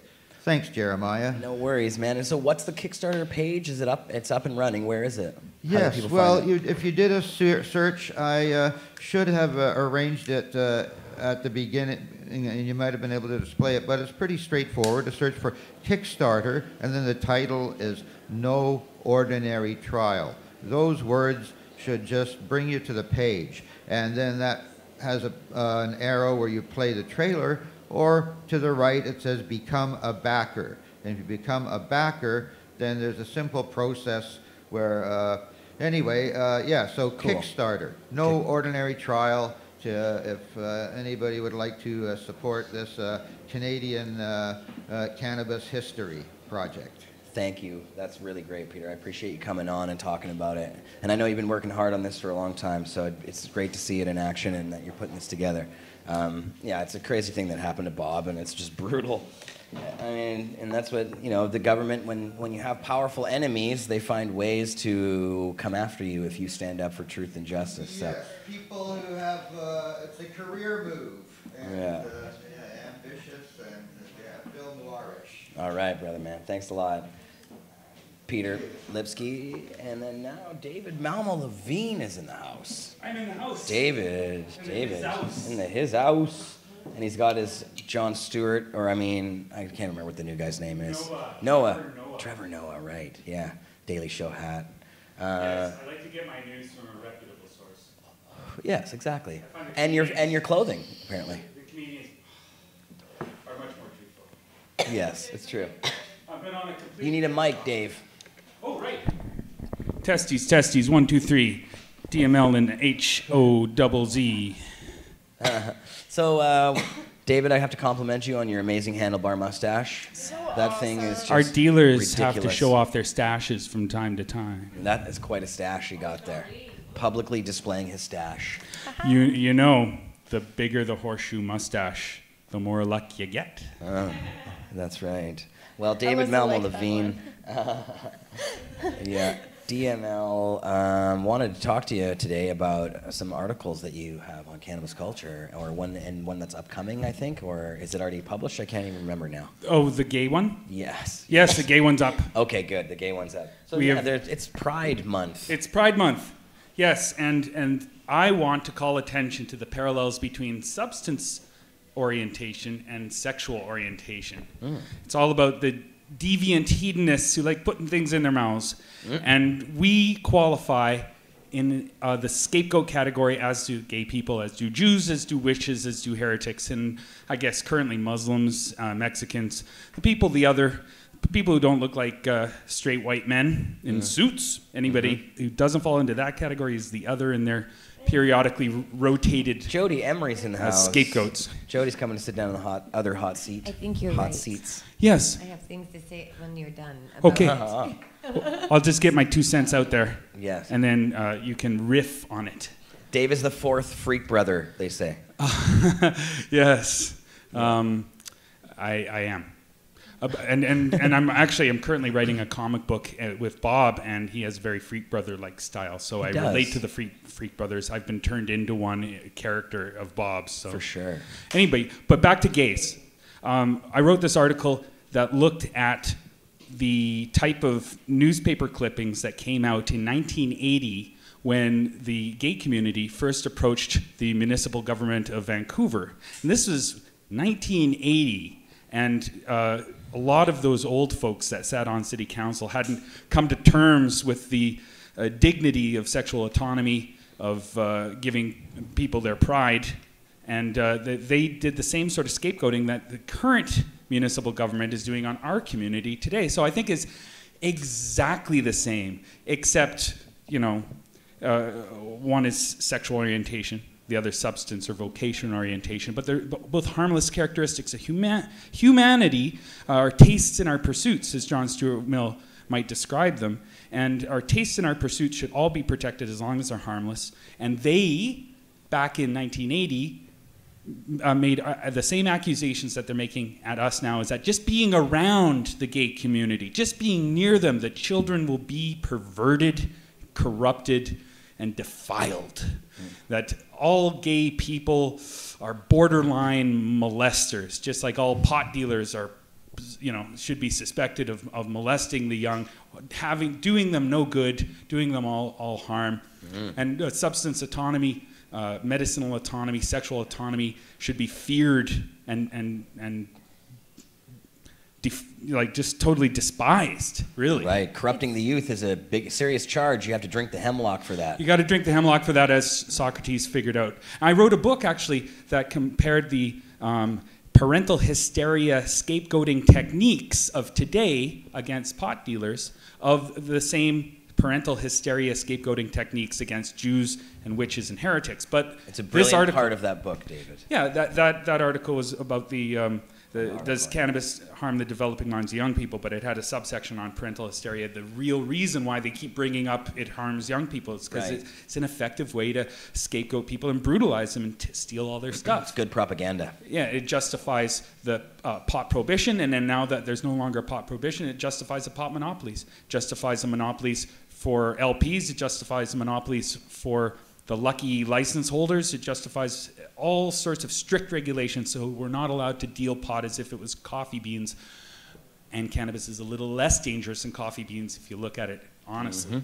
But um, anyway, back to the scapegoating. So they said it, it uh, we don't want uh, you know gay people around our, our children, and uh, th- this is uh, I believe um, still on the homepage at cannabisculture.com um, in the blog section uh, about um, it has pride in the title, response to um, uh, you know the uh, municipal government.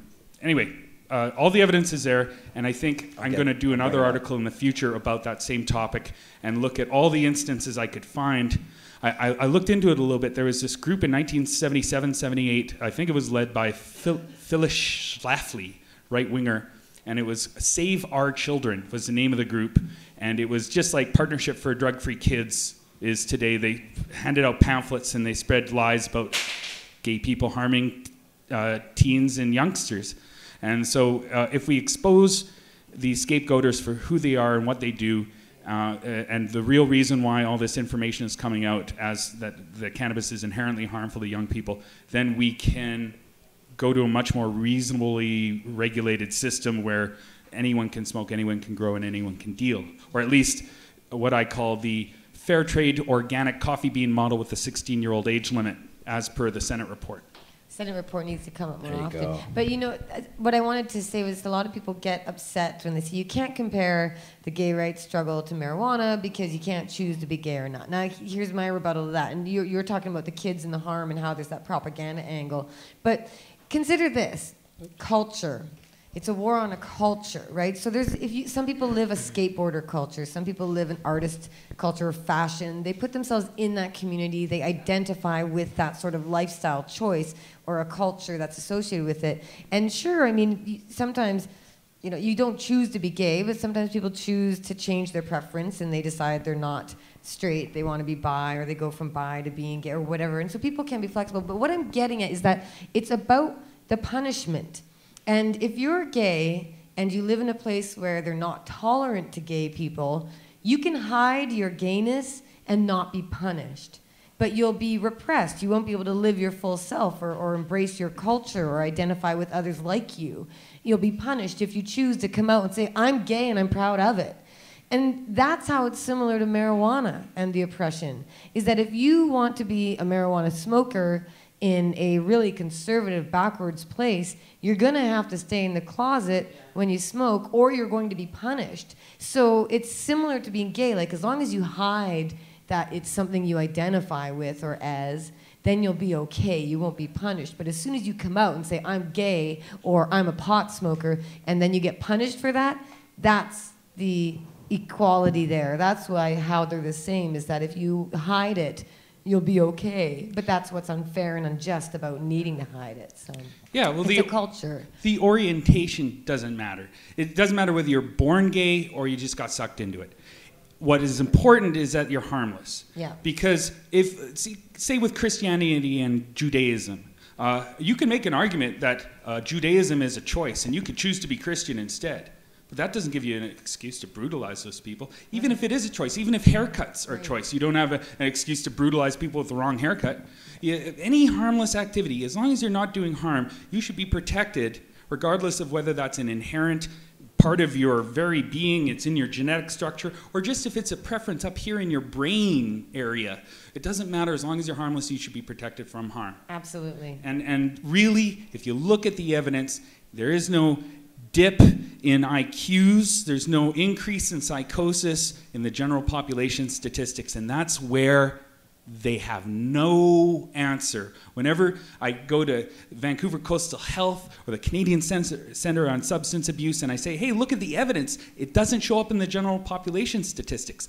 Nothing you say, hairy palms, uh, growing man breasts, uh, all your gums are seeding back into your head. None of these problems show up in the general population statistics.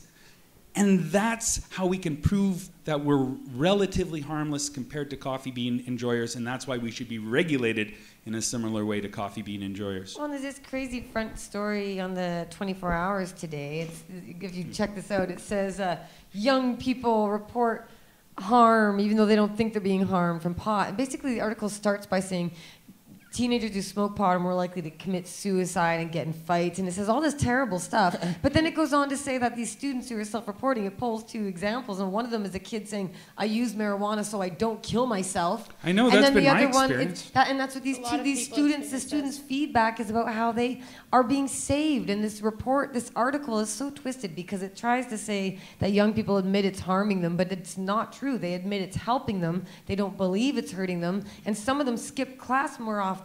But that's not harmful. They're just doing what I did when I started smoking pot. I was tired of the bullshit, and I got out of that classroom because I knew they were just going to Yeah. feed me more isn't lies. That, isn't it like saying that the pharmaceutical drugs that they're giving in response to these problems are the ones causing them? Like it's the, the same uh, mentality there. I mean, I, what I thought of was when uh, they had a syndrome, a mental illness for slaves who ran away from their institutions. I'm like, you're skipping school? Maybe that's just a sign of intelligence. Personally, school was getting in the way of my education when I was going to school. No shit.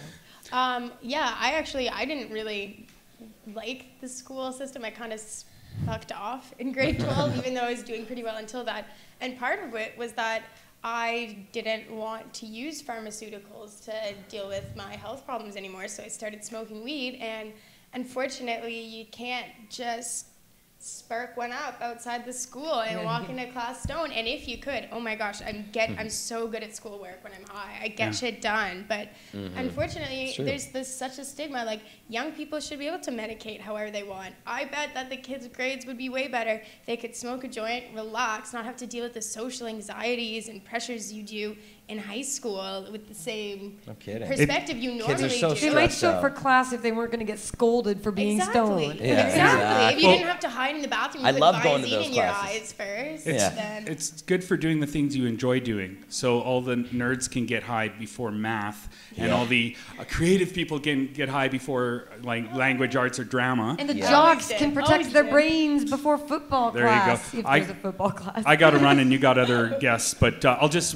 I'll end on one one point. Noam Chomsky, one of the smartest people who ever lived, the most quoted living human being in like top 10 of all time. Yeah. Noam Chomsky hated school. Couldn't go, was ready to quit, and then one of his professors like, "Hey, I don't have real classes, just come to my place and talk." And that's how he got through university. Asked Noam Chomsky, he hated school. If, if the smartest guy in the world hated school, uh, then those teens should just be commended for escaping their institutionalization. That anarchist. Yes, and on that note, have a great day. Keep your heads held high. It's a dignity war, and you can only give it away. They can't take it from you. See There ya. you go, David Malmo Levine. Thank you very much. DML. DML. And so, yes. yes. Dropping mad learning. That's right. He blinded me with science. Uh, and thank you, Jody Emery, as well. Um, so excellent.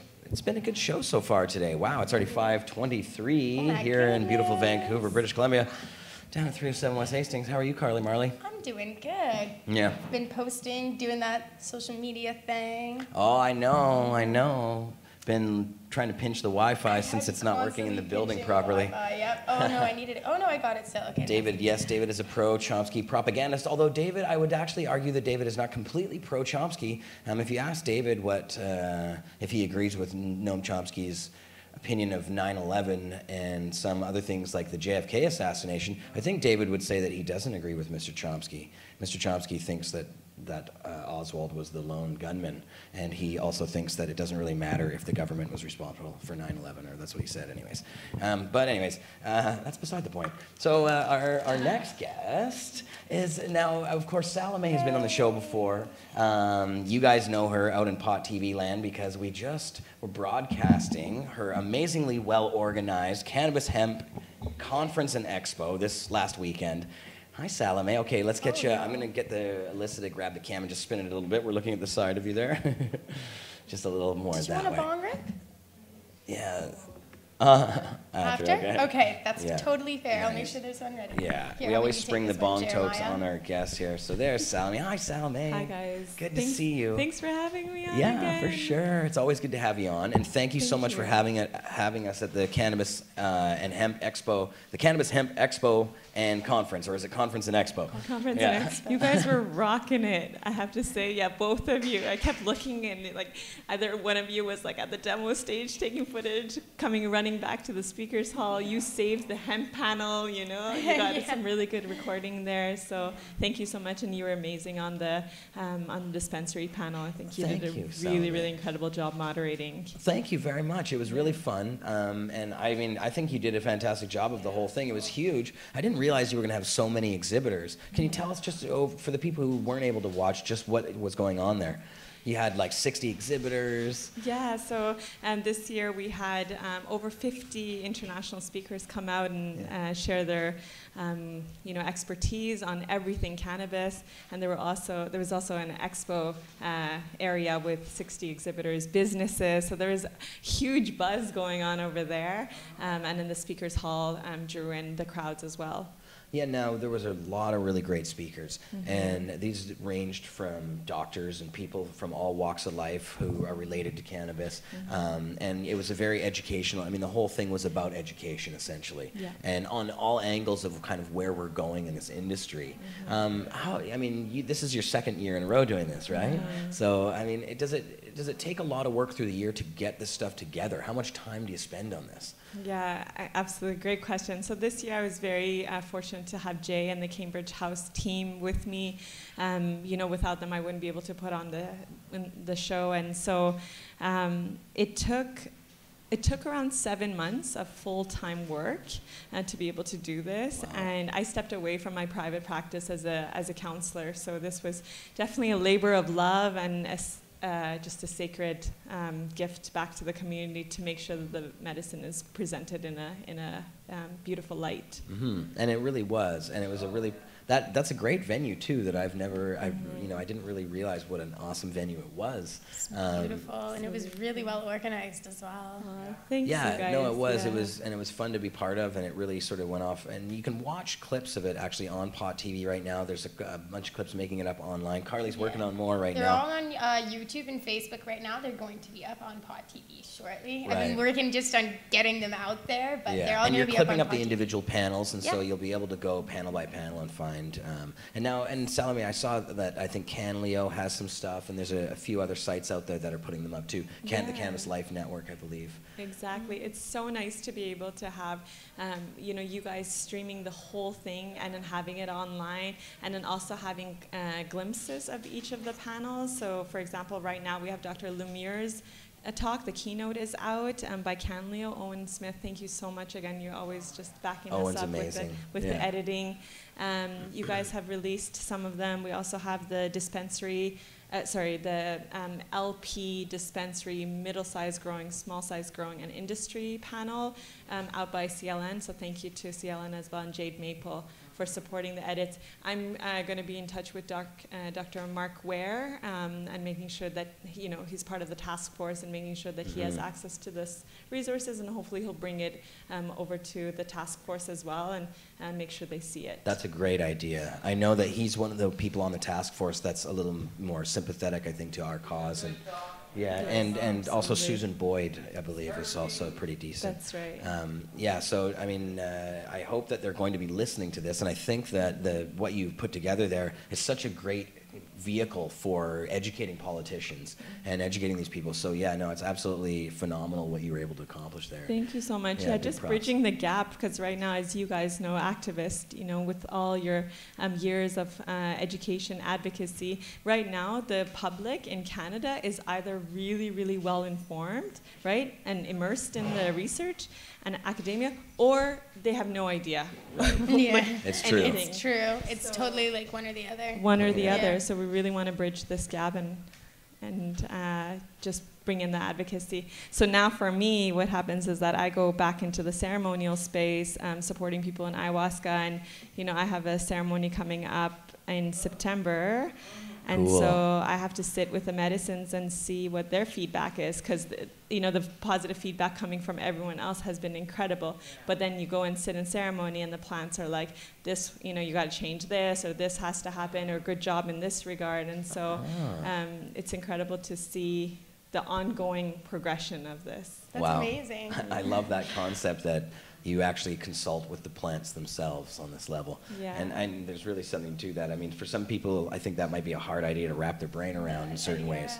But for those who have had psychedelics or who have, you know, gone through sort of sacred ceremonies and things like that, they will understand what that really means. Absolutely. Yeah. And I really do believe that each one of us has that psychic ability. And even if we're not conscious of it, the plants are working with us. And if you told me three years ago that, you know, there would be this kind of engagement with the plants, I'd be like, what the heck does that mean? Like, Yeah. I had no idea. And so it's just about taking that time, doing those ceremonies, maybe in silence or with just music solo, like mushrooms has been amazing for that. Mhm. Um, and just seeing what comes, listening. Yeah, absolutely. Oh, that's fantastic. Uh, Salimeh, thank you so much for everything you do. You've also been very helpful with 420 and other events we've done. Um, you're just an absolute amazing person and amazing activist. So um, I love having you on the show, and it's always great working Thank with you. Thank you so much, Yeah, you guys. No, Thank you for all the good awesome. work and Really keeping the momentum going. I said it at the conference without the activists, none of us would be here. So, yeah, huge respect and thank you for keeping the momentum going. For sure. Well, that's what we're here for. Um, and yes, Salimeh, I- I'd love to have you back on the reg- on a regular basis to talk about some of the stuff that you're doing and your other stuff. Like, and you know, after you go and do the ayahuasca stuff, it'd be cool to have Sound- you on, talk about uh, it, and see what the absolutely. plants said. Yeah. Absolutely. I'll Yeah, come and sure. do a recap. And uh, in oct- end of October, we have the Spirit Plant Medicine Conference. Right. So please come and support. Yeah, that one's and fantastic It's too. a, It's it's really, a welcome good. to everyone in the community as well. Yeah. Cannabis will be featured there as well. Awesome. Fantastic. Thank you so much for coming on, Salimeh. Really appreciate it. Yeah, and we'll Thank have you you so back much. soon for sure. Oh, sure. bong rip. Oh. I will take a joint actually. I'm Okay. Gonna have a yeah. Um, Oh, we don't we No. Oh no, I still do. Oh no, that one's done. No oh worries. damn. Next But time we should I'm roll gonna- another Next time, one. we're gonna Next roll. time. Yeah. I'm gonna, the bong um, kind of is pretty hard on some folks. Yeah, Make I sure that the, the joint rotation gets all the way to the couch this time. And now I can actually relax and like be with medicine. Um, I hope you guys join. Uh, Folk Fest is happening this weekend, so Oh, let's get out yeah. into the sun. I'm not. I don't have tickets, but I just go and chill on the beach. Nice. Oh, there's a lot of stuff going on. It's beautiful summer in Vancouver, so Yeah, finally, Yeah. we I can know, enjoy finally. it. it's been kind of yeah, a little rainy lately, so. Vancouver. Vancouver, yes. Yeah. Awesome. Cool. so much, you guys. Thanks, Thank Salimeh. Really appreciate it. Thank you. Um, and now look who it is that just stepped into the room here as well as Neil Magnuson. I, I figured you'd be stopping by, Mr. Magnuson. Fresh from Calgary. Uh, fresh from Calgary. And Ashley. Ashley's also in the house. And Anne, of course. It really wouldn't be a Pot TV show without Anne in the audience. Yeah, that's, that's true. She's always in every, I think pretty much every single show and has been at. If she like, if she can't make it, she's like, I'm not gonna make it. And that's like, she only happened maybe once. Out of like 5,000 shows or whatever we have. yeah, exactly. Yeah, well, Mr. Magnuson wearing a green shirt today. Got the 420 Vancouver shirt on. Uh, what's up, Neil? Just random shirt choice, no. Random shirt special. choice, nothing special. So. I just got back from Calgary. There was an amazing, uh, the first ever cup that they had there, Concentrates Cup, uh, in Alberta. And uh, the RCMP showed up on cue and uh, said that uh, all the people with boots were arrested, under arrest, and they were going to seize everything. No. And uh, we tu- we tongue food them out of there. So uh, Tongue food, I tongue like food out that. there. Told them they had no business being there uh, on private property and. Uh, and it was a private function, and why were they there? And they said they had a complaint, and so I said, well, where's the victim? You know, you've, you've answered the complaint. Did you find anybody was harmed? Because there's no victim here. And, uh, you know, the one guy was very adamant. He seemed like some kind of a rookie with the sunglasses and his arms folded, and he was guarding this pile of extracts that they'd put together there. And this guy was under arrest, although not in handcuffs. A pile of extracts. And uh, telling me that this isn't marijuana, and uh, you know, looking at some kief, going, yeah, that's definitely marijuana. And and then uh, where's the homeowner? So the homeowner came out, and we, we separated the cops. You know, as you're supposed to do, as the cops try to do to you, you and your friend when they got you together. We separated them, and so the homeowner they had a little go with this one officer, and then we had quite a go with this young rookie type officer. And uh, they ended up walking away, uh, tails between their legs. We smiled and waved nicely, respectfully. You know, we were happy that they were doing that. And it was really awesome. So I went back to the microphone. and I was fortunate and honored to be the MC of that event. And I said, Yay, Calgary. Like, you know, who came here expecting the RCMP weren't going to show up? And so, and then we had a sheriff come a little while after that, and he was there on a noise complaint. We had quite a good sound system, you know, broadcasting over the rolling hills overlooking Calgary there. And, uh, and I guess it was actually my fault. It was O Cannabis that had uh, sparked the call. Oh, I can imagine that bugging some people out in Calgary. Yeah, you know, the one the one outsider, you know, causes the sheriffs to show up. It was priceless. Neil's always causing trouble with cops everywhere Oh, he goes. This guy, Because it was a, com- a total Alberta event. It was so awesome. Uh, you know, Rick Steele and, uh, and Lisa Mamakind were there, and, and all Alberta people, all a bunch of glass blowers, all from Alberta, a bunch of concentrate masters, all from Alberta.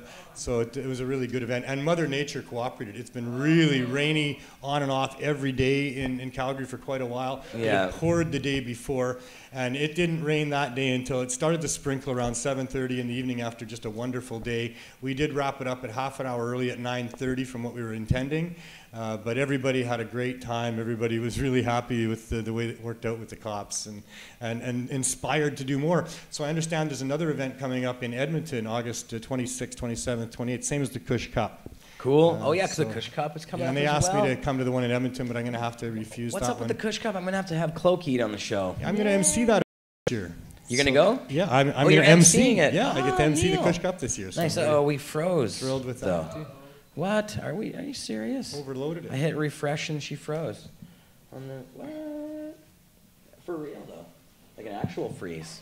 Hasn't done that for a while, so I can't actually tell if the chatters are still. Look, looks like we're still on, but We I'm may gonna have well to- still be broadcasting. Um, I'm gonna have to go control. Yeah, Mark's on his way up to Pemberton for the Pemberton Music Festival up there. I guess he's uh, some of the talent this year. Who is? Mark Lokied. He's the talent? He's some of the talent, yeah. What does that mean? He's got some sort of a gig on stage to entertain people. I'm not oh, sure geez. what that's about, so you have to ask him about that. Oh. Yeah. really? He's probably stuck in traffic on the Sea to Sky right now with the other 30,000 people trying to get up there. Where's the damn delete button? There. Hey, because that's the, that's the festival where you can Shit. do drugs and they'll help you if you're in trouble. We got to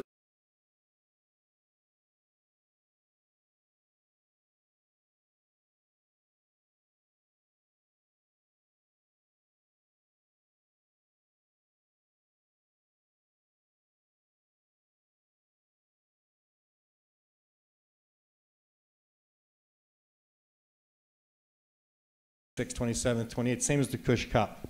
Cool. Uh, oh yeah, because so, the Kush Cup is coming. Yeah, and they asked well. me to come to the one in Edmonton, but I'm going to have to refuse. What's up one. with the Kush Cup? I'm going to have to have Cloak eat on the show. I'm going to MC.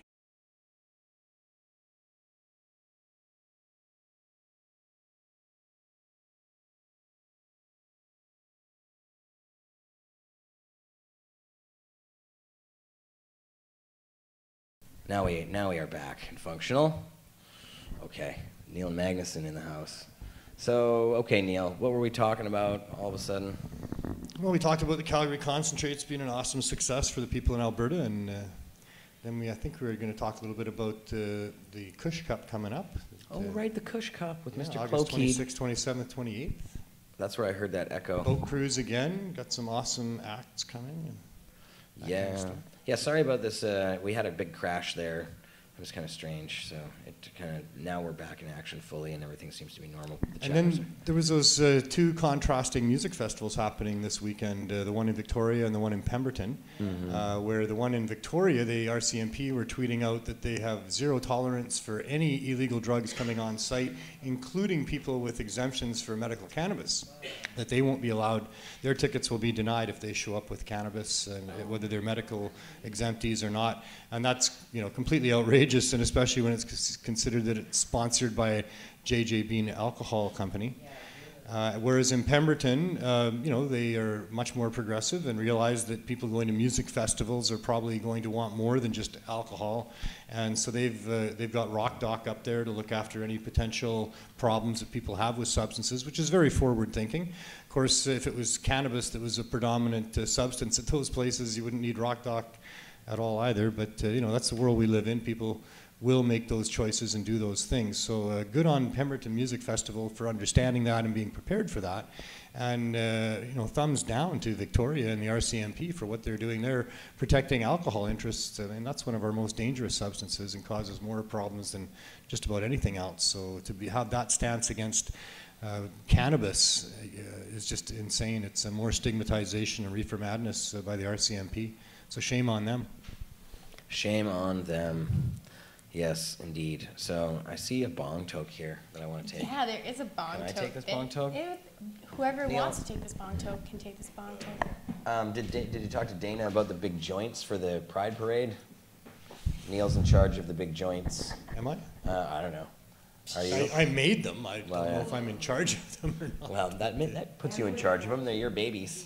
You birthed Sure, them. uh, you know, happy to have them used uh, wherever. I didn't realize uh, Dana was doing that. But that's awesome. I, I also noticed uh, Dana in the news just recently because he's announced that his dispensaries, uh, both still open, uh, one facing a, a board of variance hearing, the other one just in defiance of the, of the regulations, uh, will be uh, selling to anybody that uh, is over 19. So that's awesome. I like that. Don't like to see the under 19 crowd excluded so much uh, uh, anyway, but you know, for recreational purposes, for all those people over 19, uh, you can go to the dispensaries and cannabis culture dispensaries as well. So uh, that's a great trend that's going on there. I like that a lot. Right, and if a person is not 19, I- you know, I do wish it was 18 as well. I, it seems I'd like, like it younger than that. You know, yeah. You know. Yeah, I'd go down. I'd go for 16. But the thing is, I, I think though, though it seems like the right thing to do to allow 16 year olds to use cannabis, I wonder if it's one of those things like a 16 year old can go and buy coffee, right? Don't have to have parental con- permission to go buy a Oh coffee. God, They can buy sugar. They it can go to the movies. They can drive a car. Mhm. You know, they're close to enlisting in the army at that age. Yeah, you know, 17 in wh- the Where do you want your 16, 17, 18 year old child going to get their cannabis if you're a parent? You know, do you, do you want your daughter that's 17 years old who's made up her mind that she's going to go buy herself some cannabis with her next paycheck? And it doesn't matter what you've said by 17, right? So do you want her to be able to walk into a, a store that's got proper regulations for dealing with young people and, and where she's got some protections? Or do you want her in a basement suite with some dude that, you know, would like to talk her into something else instead of money for his product, perhaps? You know what I mean? Scab Tree in the chat says, "Can my mom buy weed from you, Jer?" Yes, your mom can buy weed. Send her down. 16, yeah, I think we need to 16, protect the young 74 people Davie too, Street, and- and- or and- or five twelve Beatty Street. Um, and I go. don't have the. Now I'm announcing this um, because it is happening next week. We are going to open our Poco store.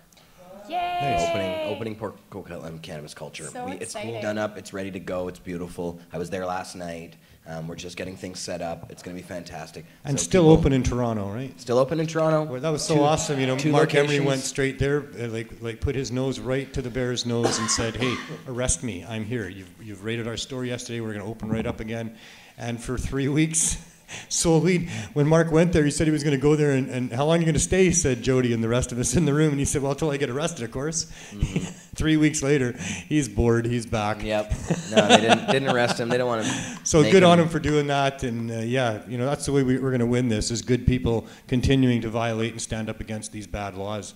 It's the only way laws have ever been changed in the past, so it's the only way it's going to get done now. What do you want, ashtray? Yeah. Uh, um, it's true, Neil. but yeah, no, we do have our two Toronto stores. They're blazing strong right now. Um, 801, haha, no pun intended. 801 Queen Street West and 711 Queen Street East.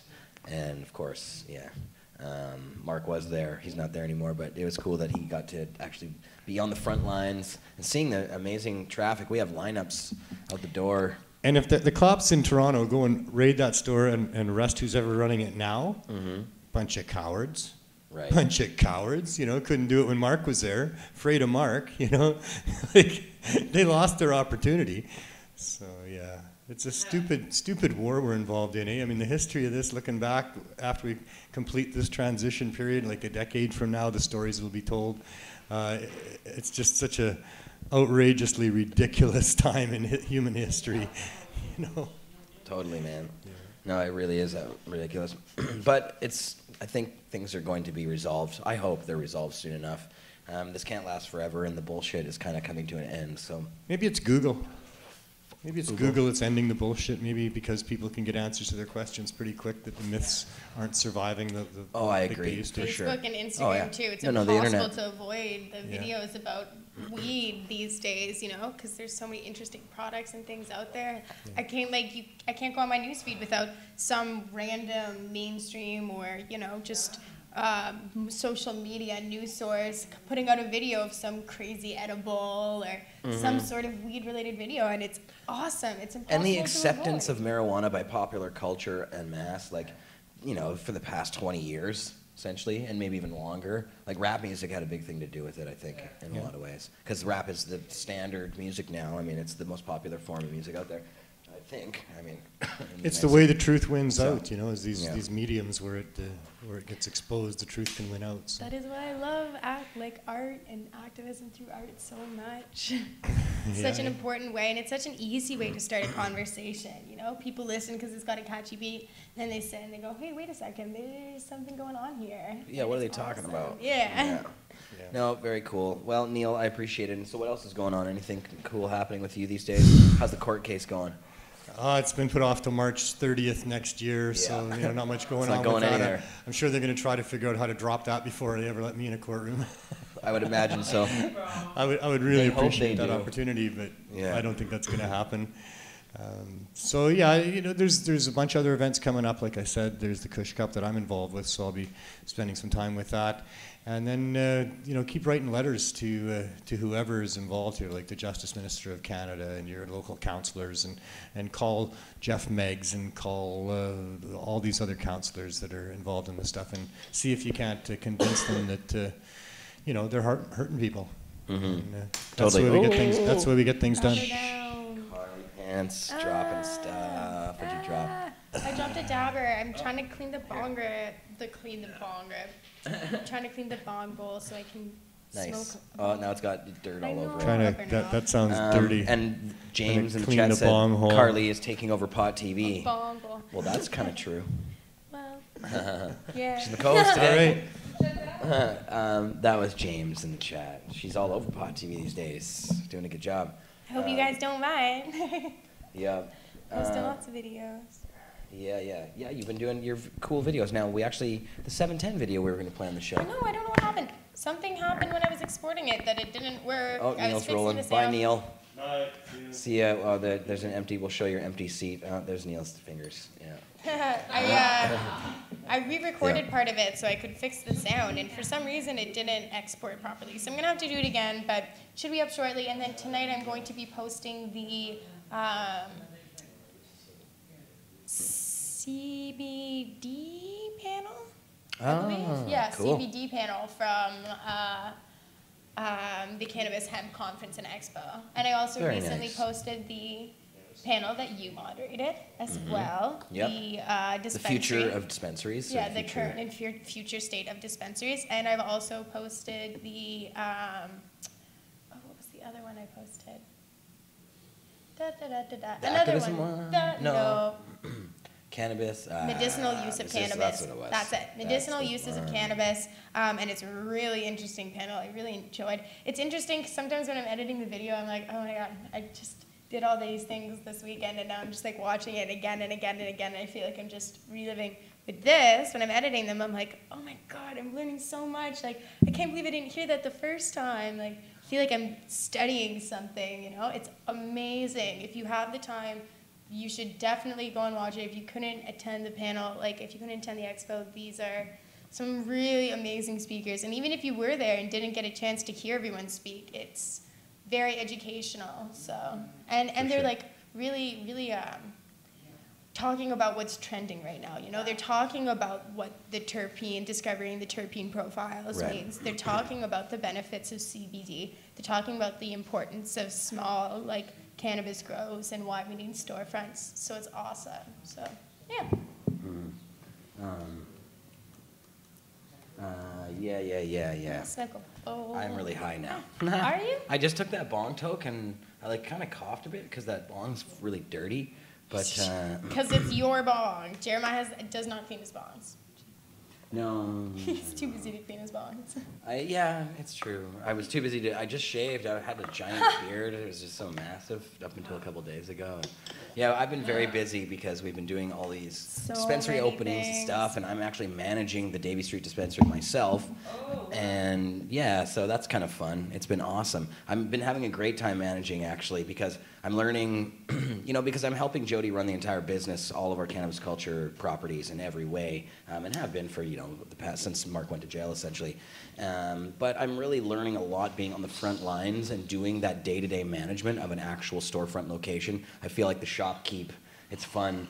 And I, I really, you know, you get to know the customers really well, and it's uh, learning something that I couldn't have learned in any other way. You have to be there doing that stuff and learning it all from the ground up, and it's pretty, pretty awesome.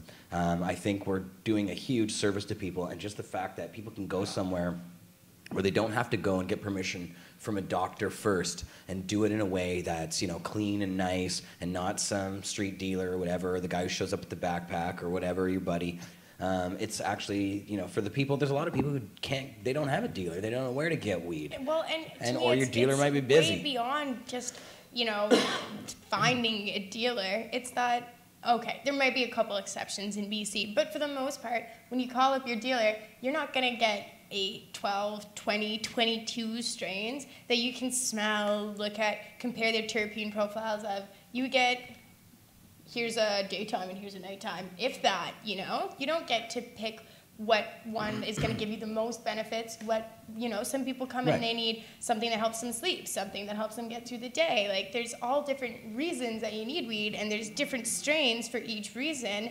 and you just can't get that on the black market. You No. just can't. No, I mean, and uh, there's some people who show up with a backpack full of goodies, um, but I mean, it's on a pared down. It's really a lot smaller than what we have functioning there.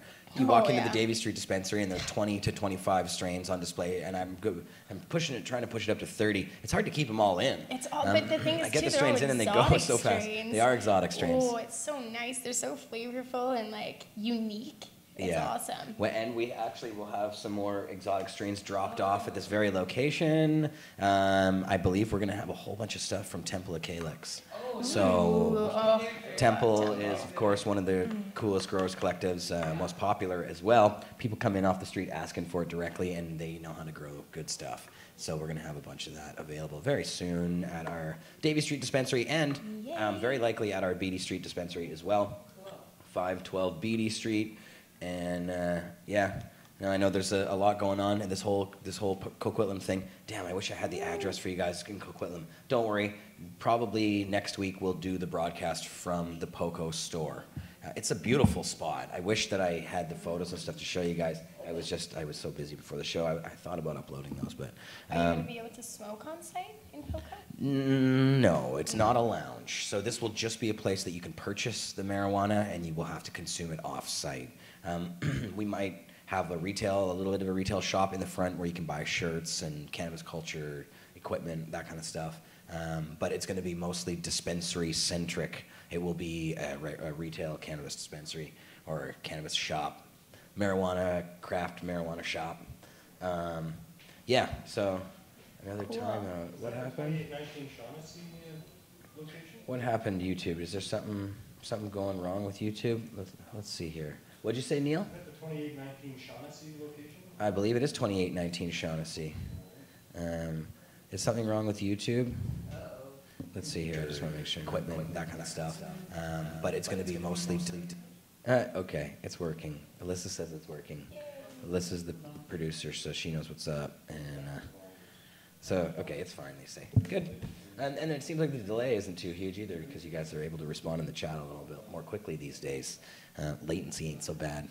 So, Carly, what, what is this we're smoking here? We haven't smoked this yet because we've been What getting so high. We've just Oh, been the smoking sticky the fingers? sativa. That's the sticky fingers. We've been smoking that hemp star. That oh, I just actually like inhaled a little bit. Beautiful. I love when that happens. That's so awesome. Yeah, That's not how you're supposed to consume weed. Snorting weed? Mm. Uh huh, uh huh. uh, it's not going to work, is it? No, It's I don't know the- why it doesn't want to It's focus. because the autofocus is probably turned off. Mm. That's probably why. Wouldn't it be? Um, there you go. So let's see here. Uh, there we go. Yeah, I think we did most of our show, and it's six o'clock now, so it's like I feel like it's time to retire things. We're kind of just getting high at the end of the show. Did you hit, hit any dabs up? Oh, we did the We did the terp dabs. Yeah. We did the terp dabs. You oh, we, well, we need to take a bong toke of this. and Okay, let's do it. I decided to save the indica for the end, so Good. it's the end. Good. Um, so That's chatters, what's up? Let's get. Should we get like a, a actual window on the chat? See what they say. That's, always cool. fun. That's been a Let's yeah. go. I don't It's know been if a I've while. done that on a show that I've been on before. No, I'm gonna add Oh. one right now. Screen This capture of the chat. Here, let's see. It'll be fun. There you go. Look at it, and I can move it around like doo doo right here, right over Carly. Just joking. Hey, it got smaller. There, but here we can put it over here. S- there we go. Look at just like that. No, then you don't see the whole thing. right in the middle of both of us. Oh my god. Do another 30 minutes. They want another 30 minutes. Do the Roboto closing music. Um, Do another 30 minutes. Aw, we love you too, chilling like a villain. Uh, What's up, chatters? What's Jerry's favorite since becoming a drug lord? Oh, well, uh, How, that's a good question. what do you mean since becoming? He was born. Uh, well, I did sell a lot of weed. Actually, I've been selling weed since I was 15. And, and really, honestly, I sold so much pot when I was a kid. I had literally had a whole bunch of employees working for me in Nanaimo at different schools, at high schools and stuff. I had like a full-time joint roller. I hired a full-time joint roller. Oh my roller. I gosh, did, for that's sure. My girlfriend's so little sister. It was funny. Um, but yeah, my favorite weed, my favorite weed that we've had in the dispensary so far, I think, is the Stella. Actually, I don't think I know. It's the Stella Blue. The Stella Blue is a remarkable strain. It is blueberry crossed with, oh heavens, am I now forgetting what the other side was? Oh, that's a that's a shame. Um, I'm gonna find that out. But the, the Stella, maybe somebody in the chat knows. it was really. yummy. really dope. Um, it had a crazy blueberry candy flavor to it. it to me, it actually felt like, um, uh, or tasted like those rocket candies you get at Halloween. Those little tubes of rocket candies. It you know, they're like little sweet tarts or whatever. Uh, You know what's funny is this whole time you've been saying it reminds me of rockets, and I thought you were talking about the popsicles. No. Because that's what I think it smells like. Is those like know, those blue, red, and dusty white candies when you bite them, they're like little It chips, smells like some sort of like coins. blue flavor food. It's amazing, but it's it doesn't taste like.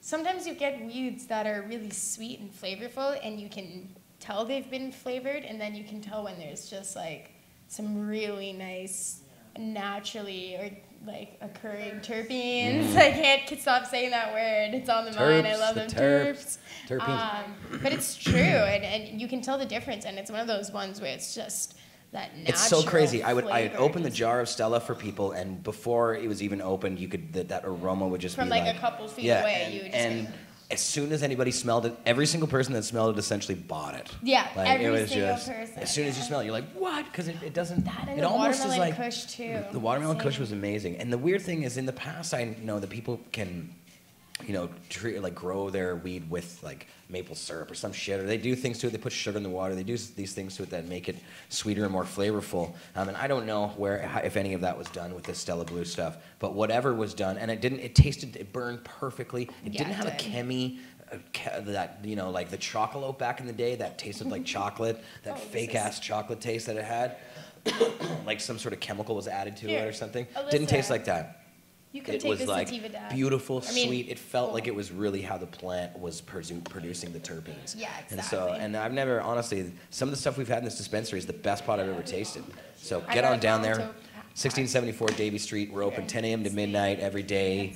Yeah, yeah, you don't need yourself a medical card. And Alyssa, let's get her on the hot seat cam. Woo, look at that. Now it's a real hot seat. Oh, yeah. Look at her little 90s hairdo today. She's so Oh, cute. styles. Nice. I love Alyssa. 90s.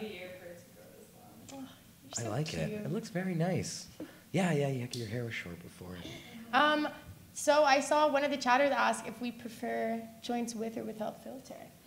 I like them with them. I like it with them. Um, when I first moved to BC, I was staying with a friend who always rolled her tubes without, and I was kind of like, okay. And I started getting in the habit, and I was kind of like, this is always the challenging part of rolling a tube. So you know, yeah, fuck it. But now I, I like to have the um, the like the raw filter tips, like something that I know is like a natural thing. Um, yeah, What's I like Carly's favorite strain? Did they? Is that what you were just That's so challenging. I would say Congolese. the Congo? Yeah. The Con- Um, well, you're gonna be happy after today because I think we're getting the Congo uh, today. Temple of Calyx Congolese is actually my favorite. Yeah. To be honest, it is the best. And and for Oh, dabs whoops. too, Congolese live resin is okay, my I was favorite rolling too. the thing by accident there. Oh look, we can Um, go down like that. Then you see so- how- Do we do mail order? No, we don't do mail order yet. Um, we probably will do mail order though. Like I'm, we're just putting that together right now. I don't know. Mm-hmm. See, mail order is another. I mean, it's risky. uh, Like you know, advertising and being the you know the person responsible for all that. Mail These- order These things are all risky.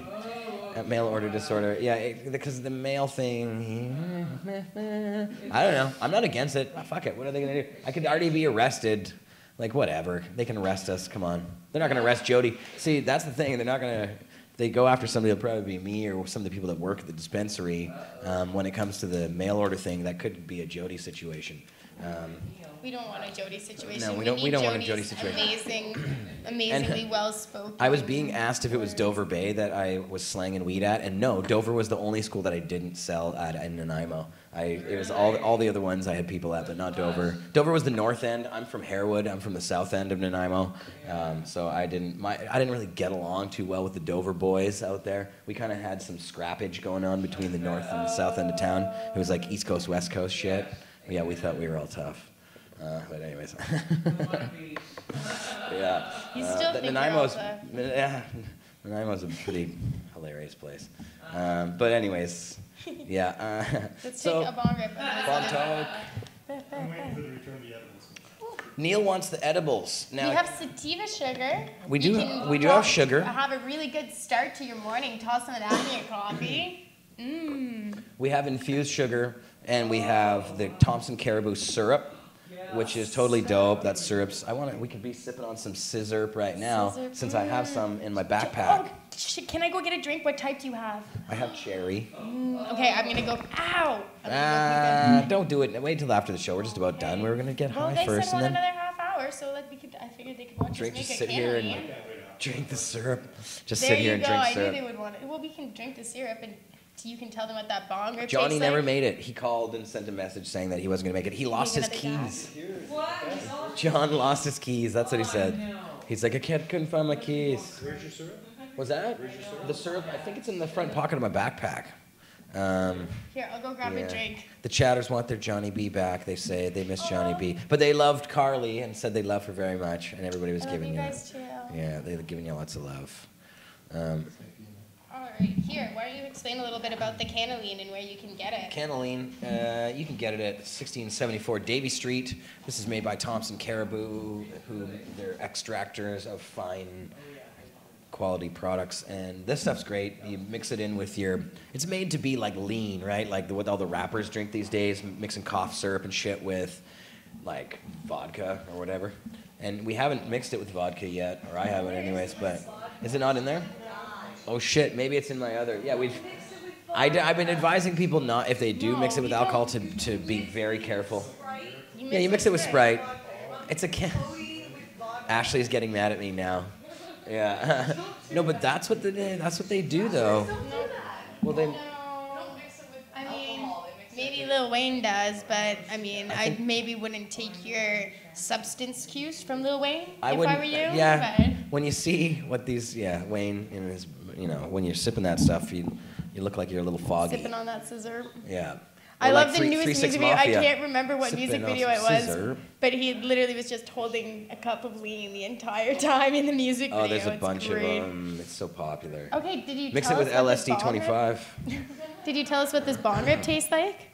Um, happy 710 somewhere, says someone. Oh, well, says get Cheris that. Rosin. You take a bong rib. What are you asking for over here? For you are to saying? take a bong rib. Take a bong? Oh, sure. Oh. Oh, it's 610. 610. Close enough, though.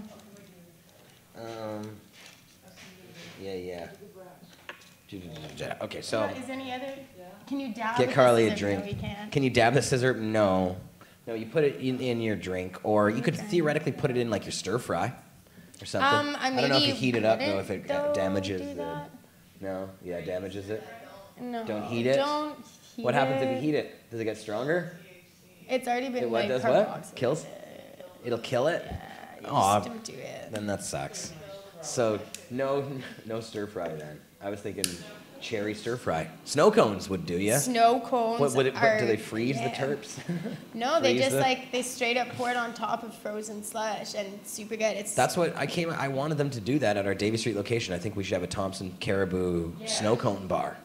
that would be awesome. And I'm sure you would donate. Thompson Cariboo. Okay, so what about the snow cone? Oh, he has a snow cone machine. Yeah, he does. We could put Canadabs together with Thompson Cariboo and make a whole crazy concoction. Here you uh, go. Yeah. Do you want to turp that?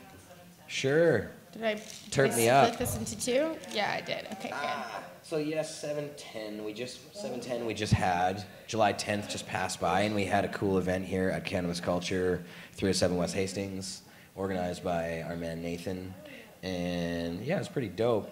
Carly's got her own event coming up. Oh my gosh. She's scared about it because it's getting close and hasn't been fully organized yet. I Do you know have. it- it's been like. Is it still happening? Yeah, well, it's been catch 22 after catch 22 for like everything that's been happening for me. And I kind of really need a cell phone to hassle people down. Mm. And I've had a cell phone now for a little while, so I've been able to do the social media thing, but I literally have not had time to go and get it hooked up. Is it ready so, then? Um, get a like a little bit cooler with the terpenes. You probably get to go. Okay, there. cool. hmm So yeah. So tell me about the event. Um, yes, the event is going to be uh, very exciting. It's going to be focusing on arts and activism. It's going to be the 420 Lifestyle Cup. We're going to have lots of the Pot TV crew down there. Jeremiah is going to be co-hosting. Kush Queen is going to be co-hosting. Of course, we're going to have Opus come by and say hi since he is the creator of the 420 Lifestyle. Um, and we're also going to have Johnny B doing um, hash making demo to show the art of hash. We have also uh, Makeup by Dollface is going to be doing. Um, wow. Every every like person who gets buys entry, they get a airbrush tattoo. So that's Cool. gonna be kind of cool, yeah. And that's gonna be going down in the studio, so that's gonna be kind of neat too. That's dope. Um, wow, then- that stuff got me super ripped, and it's like a really amazing, like poppy in my brain, kind of almost tobacco-ish, like you know that popper bong feeling where you get light, Oh, lightheaded and whatever. It's like whoa. That, that the Ontario girl in me liked that. Yeah. she likes her tobacco. Yeah. Um, so. Um, you Wow. still haven't told us what you think of this strain yet, and I'm waiting for you to say what you think of it, so I can smoke a bowl of it and say what I think of it. So can you smoke that bowl? Which bowl? What bowl? It's the bowl of the This one? sticky fingers. Oh, Yeah. okay. Because I want to know what it tastes like. I'm really ripped now. Well, you're gonna get more ripped. So, Doob says, "What about the burritos?" oh my God, That's a good lasagna. That's question. what I want.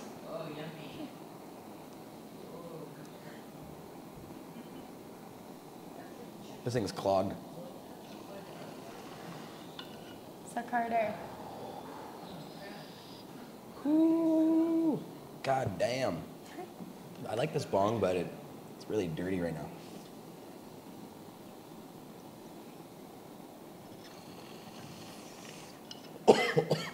Ugh, yeah, it's filthy. God damn. That's disgusting. Okay. Well, I like the sticky, the weed tastes really good, but it, it's that bong that's just so dirty. oh damn. I Then I'm gonna wait and smoke joint. Did it with the last. Yeah, look at how filthy it really is. It's just because, you know, the downstem.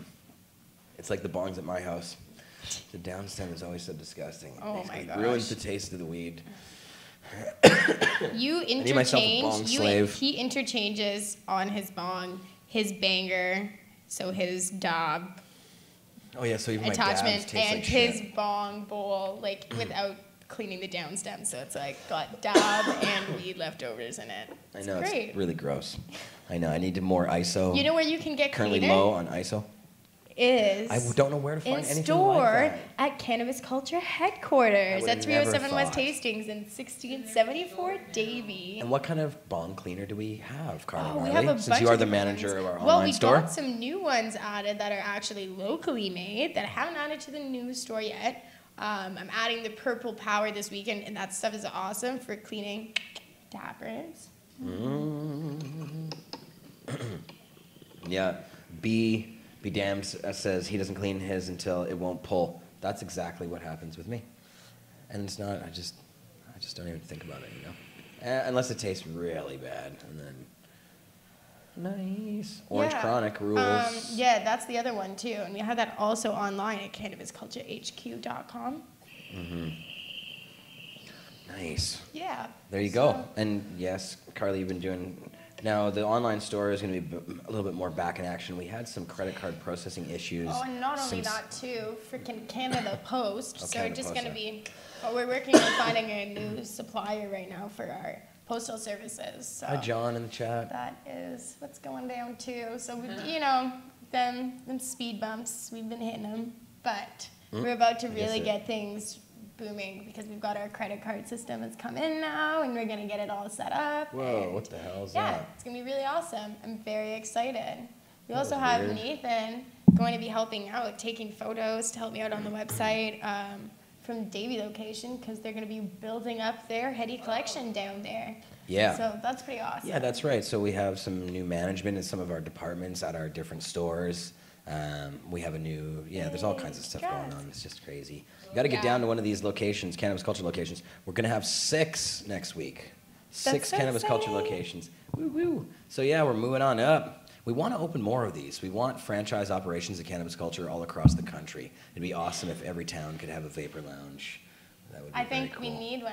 I think we need one in every every Dispensary, city vape should It's- be have access to a safe inhalation Yeah. site because no matter what, there's Ah. always going to be buildings that say no smoking, no matter It what. should be like And Amsterdam everywhere. Yeah, but you need somewhere where you can go and be safe and not have to worry about the black market and just enjoy and consume and socialize. Like I have learned so freaking much in this building. It's insane, and I'm sure most people who've spent any extended period of time in this building feel the same way. damn- And it's it's a community center too, and those are really important. It's such an oppressive thing that this government makes this plant illegal and doesn't allow us to just do the most simple things. Like, I just can't wait till we can smoke weed in the streets without cops harassing, like Nas says in his song. Imagine that. Like, I just, yeah. I, I think that we have to be able to do this before we're really free, and that goes for you know any kind of drug, not just marijuana, but all of the drugs, um, and any substance that doesn't hurt you. Um, you know, and I think that and dangerous substances should also the ones that people are used to abuse and stuff. If unless you legalize them, you're never going to be able to help people get off of those substances. And we see that in places like Vancouver here, where we have a safe injection site, literally saving lives every day. Oh my God, So, it's insane. The, yeah. the, the ambulance is literally always there, making sure that if anyone has any unsafe experience, that they're treated as quickly as possible. You And the deaths but have stopped. There was a whole bunch of deaths, and they're all they're- they've they're- ceased. They stopped. Yeah, it's a, Or it's at least gone down a hell of a lot. See you guys later. Are you out of here too, Ash? And it might Bye, change the environment a Bye, bit Ash. of the of the neighborhood, but I think that most Van- Vancouverites, that's most Vancouverites, that's a sacrifice we're willing to make to keep people alive. I would rather have an area in our city that's maybe not the um, doesn't have the most curb appeal, but I mean, if it's helping people save lives, then Mhm. it's a damn good, damn good cause. So every substance should have somewhere where you can learn And- about it properly. You know, I learned about none of the benefits of cannabis when I was in school. they didn't even tell me about it being used uh, medicinally at all. That's insane that they just completely omit that. Totally. So.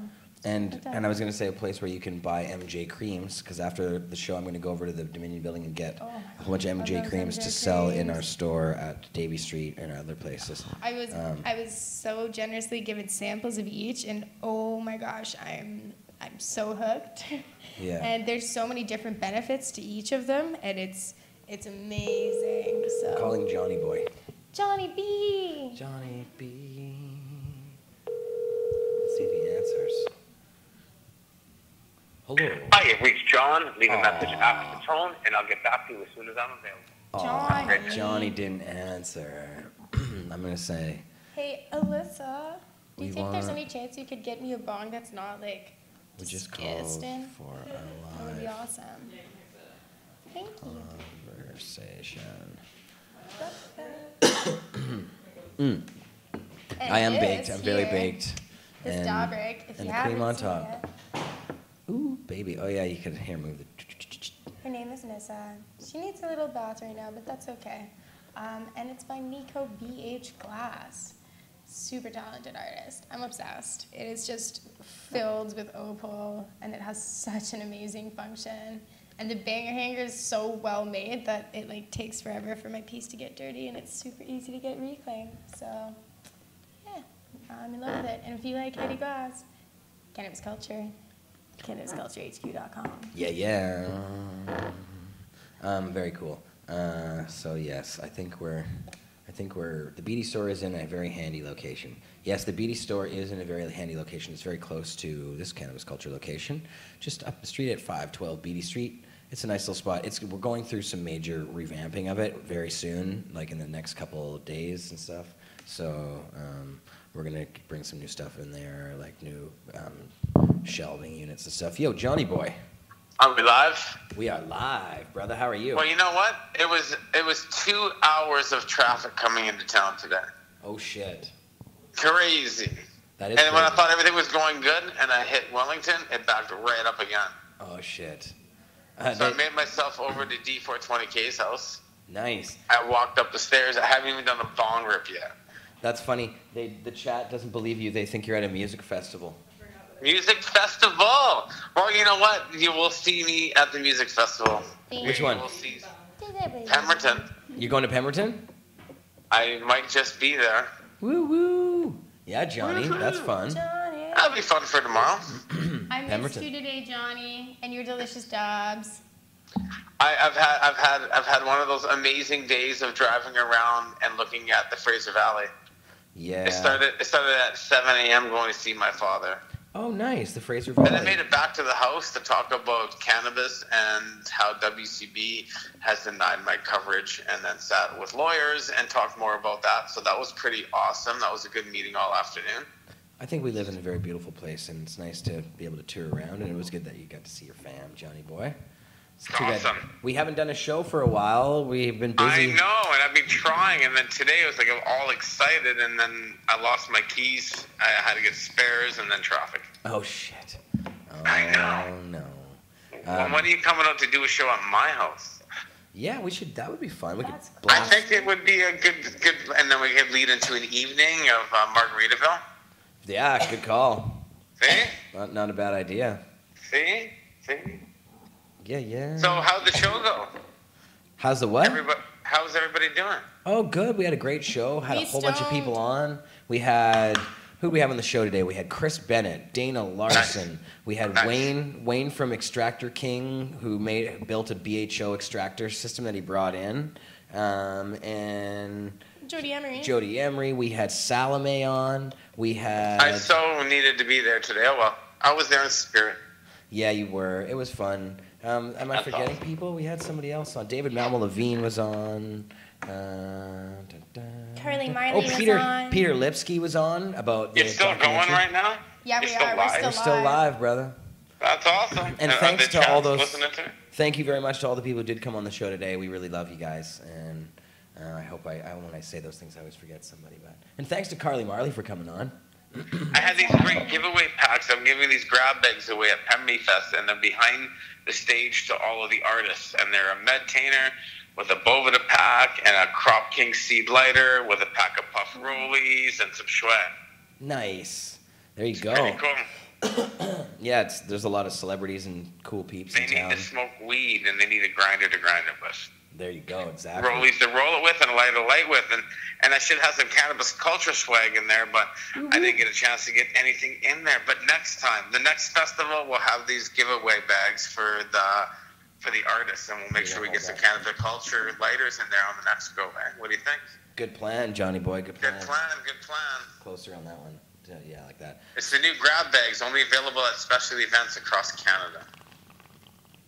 That's awesome. Jeremiah's just taking a bong grip right now of Is some it? Well, that is awesome. from I should do a 1670. dab while you guys are doing bong rips. now that tastes good. See, Oh, we don't have any dabs left. I finished all my dabs. that tastes really nice. Oh my that was God, I a much more accurate sample. that we got from the island. It's so cool. You put coals on the top, and it's the first ever vaporizer. oh, I've seen. I saw your pictures of that. Are you bringing that to the show next week? I will because I actually have purchased one. Oh, that's amazing. Oh, I'm gonna have to stop by and hit it. That sounds amazing. Mm-hmm. Well, I'm gonna do this bong rip while you guys are listening. Oh, cool. And thanks to Alyssa for producing the show, as always. Oh, we can hear the bong toke bubbling. A little- a little closer So you guys are doing fantastic. That's always good to hear. Cool, Johnny. Well, Sorry. I, we, Yeah, can- Alyssa we none of us know what's too. going on. Um, uh, okay, Okay, okay, bye. Johnny boy, we love you, but uh, love you too. but now we have to let you go On forever. TV. Thank you guys. As always, I'm always there. I'll see you there. Whatever you said, I agree, 100%. Okay, peace, brother. love you, Johnny boy. Talk soon. Peace, man. We'll be hanging with Johnny in no time next week on the show. Oh, I don't even think Johnny knows yet that we're going out to Poco, but he'll be happy. Doesn't have to drive as far. I don't think. I think. Um, so thanks, Pot TV. Yeah. Biggest thanks to all the people out there watching. Love you guys. And look at the people in the chat. It's kind of cool having the little chat window hovering around. Yeah, that's fun. How clean is your downstem, Johnny? You should have asked him that. Yeah. Uh, 99% spider mite, dry sift, egg, spider mite, egg, dry sift. Um, did Don, Johnny do yoga today? No, he taught yoga today, as he always does. Johnny's yoga sessions are amazing. Does he do? Reach enlightenment. No. No, oh right, I remember he. I saw him try to do yoga one time, and no, Johnny cannot do yoga. Uh, really? I have no idea. No, I didn't know. I've seen him show up in his yoga shorts. and- Oh, wow. No, I didn't. No. Just joking. I I never wouldn't, know with wouldn't you. want to see that. Well, you Anyways. never know with Pot TV either. That's so. true. Neil Magnuson, on the other hand, um, has showed up in his yoga shorts. Bye, guys. Thanks a lot. We love you, and uh, we'll be Monday. back again next week. Yes, of course. There's all kinds of shows on Pot TV all through the week. You can watch Carly Marley at 4 p.m. on Mondays, and Marijuana Man and Friends Wednesday with From Under the Seed Desk 4 p.m. Pacific time. That is. And you can watch the Expert Joints live show with Craig X on Thursdays at 4:20. The show right here on Friday. And uh, yeah, watch for more from Pot TV. Lots of stuff on the front page of Pot TV and on our Facebook page and on our Instagram pages. There's, all kinds of them. Um, so go check all that stuff out. Sign up, subscribe to our YouTubes and Buy such. at yes, su- subscribe to the YouTube channel if you haven't subscribed. to it. Um, you should do that right now. I think there's a button somewhere around, somewhere. Do it, so do it. Uh, they say that's uh, you know how you can encourage people to do it, and they'll actually do it. So I'm telling you to do it. Love you guys. See you, Pot TV. Peace.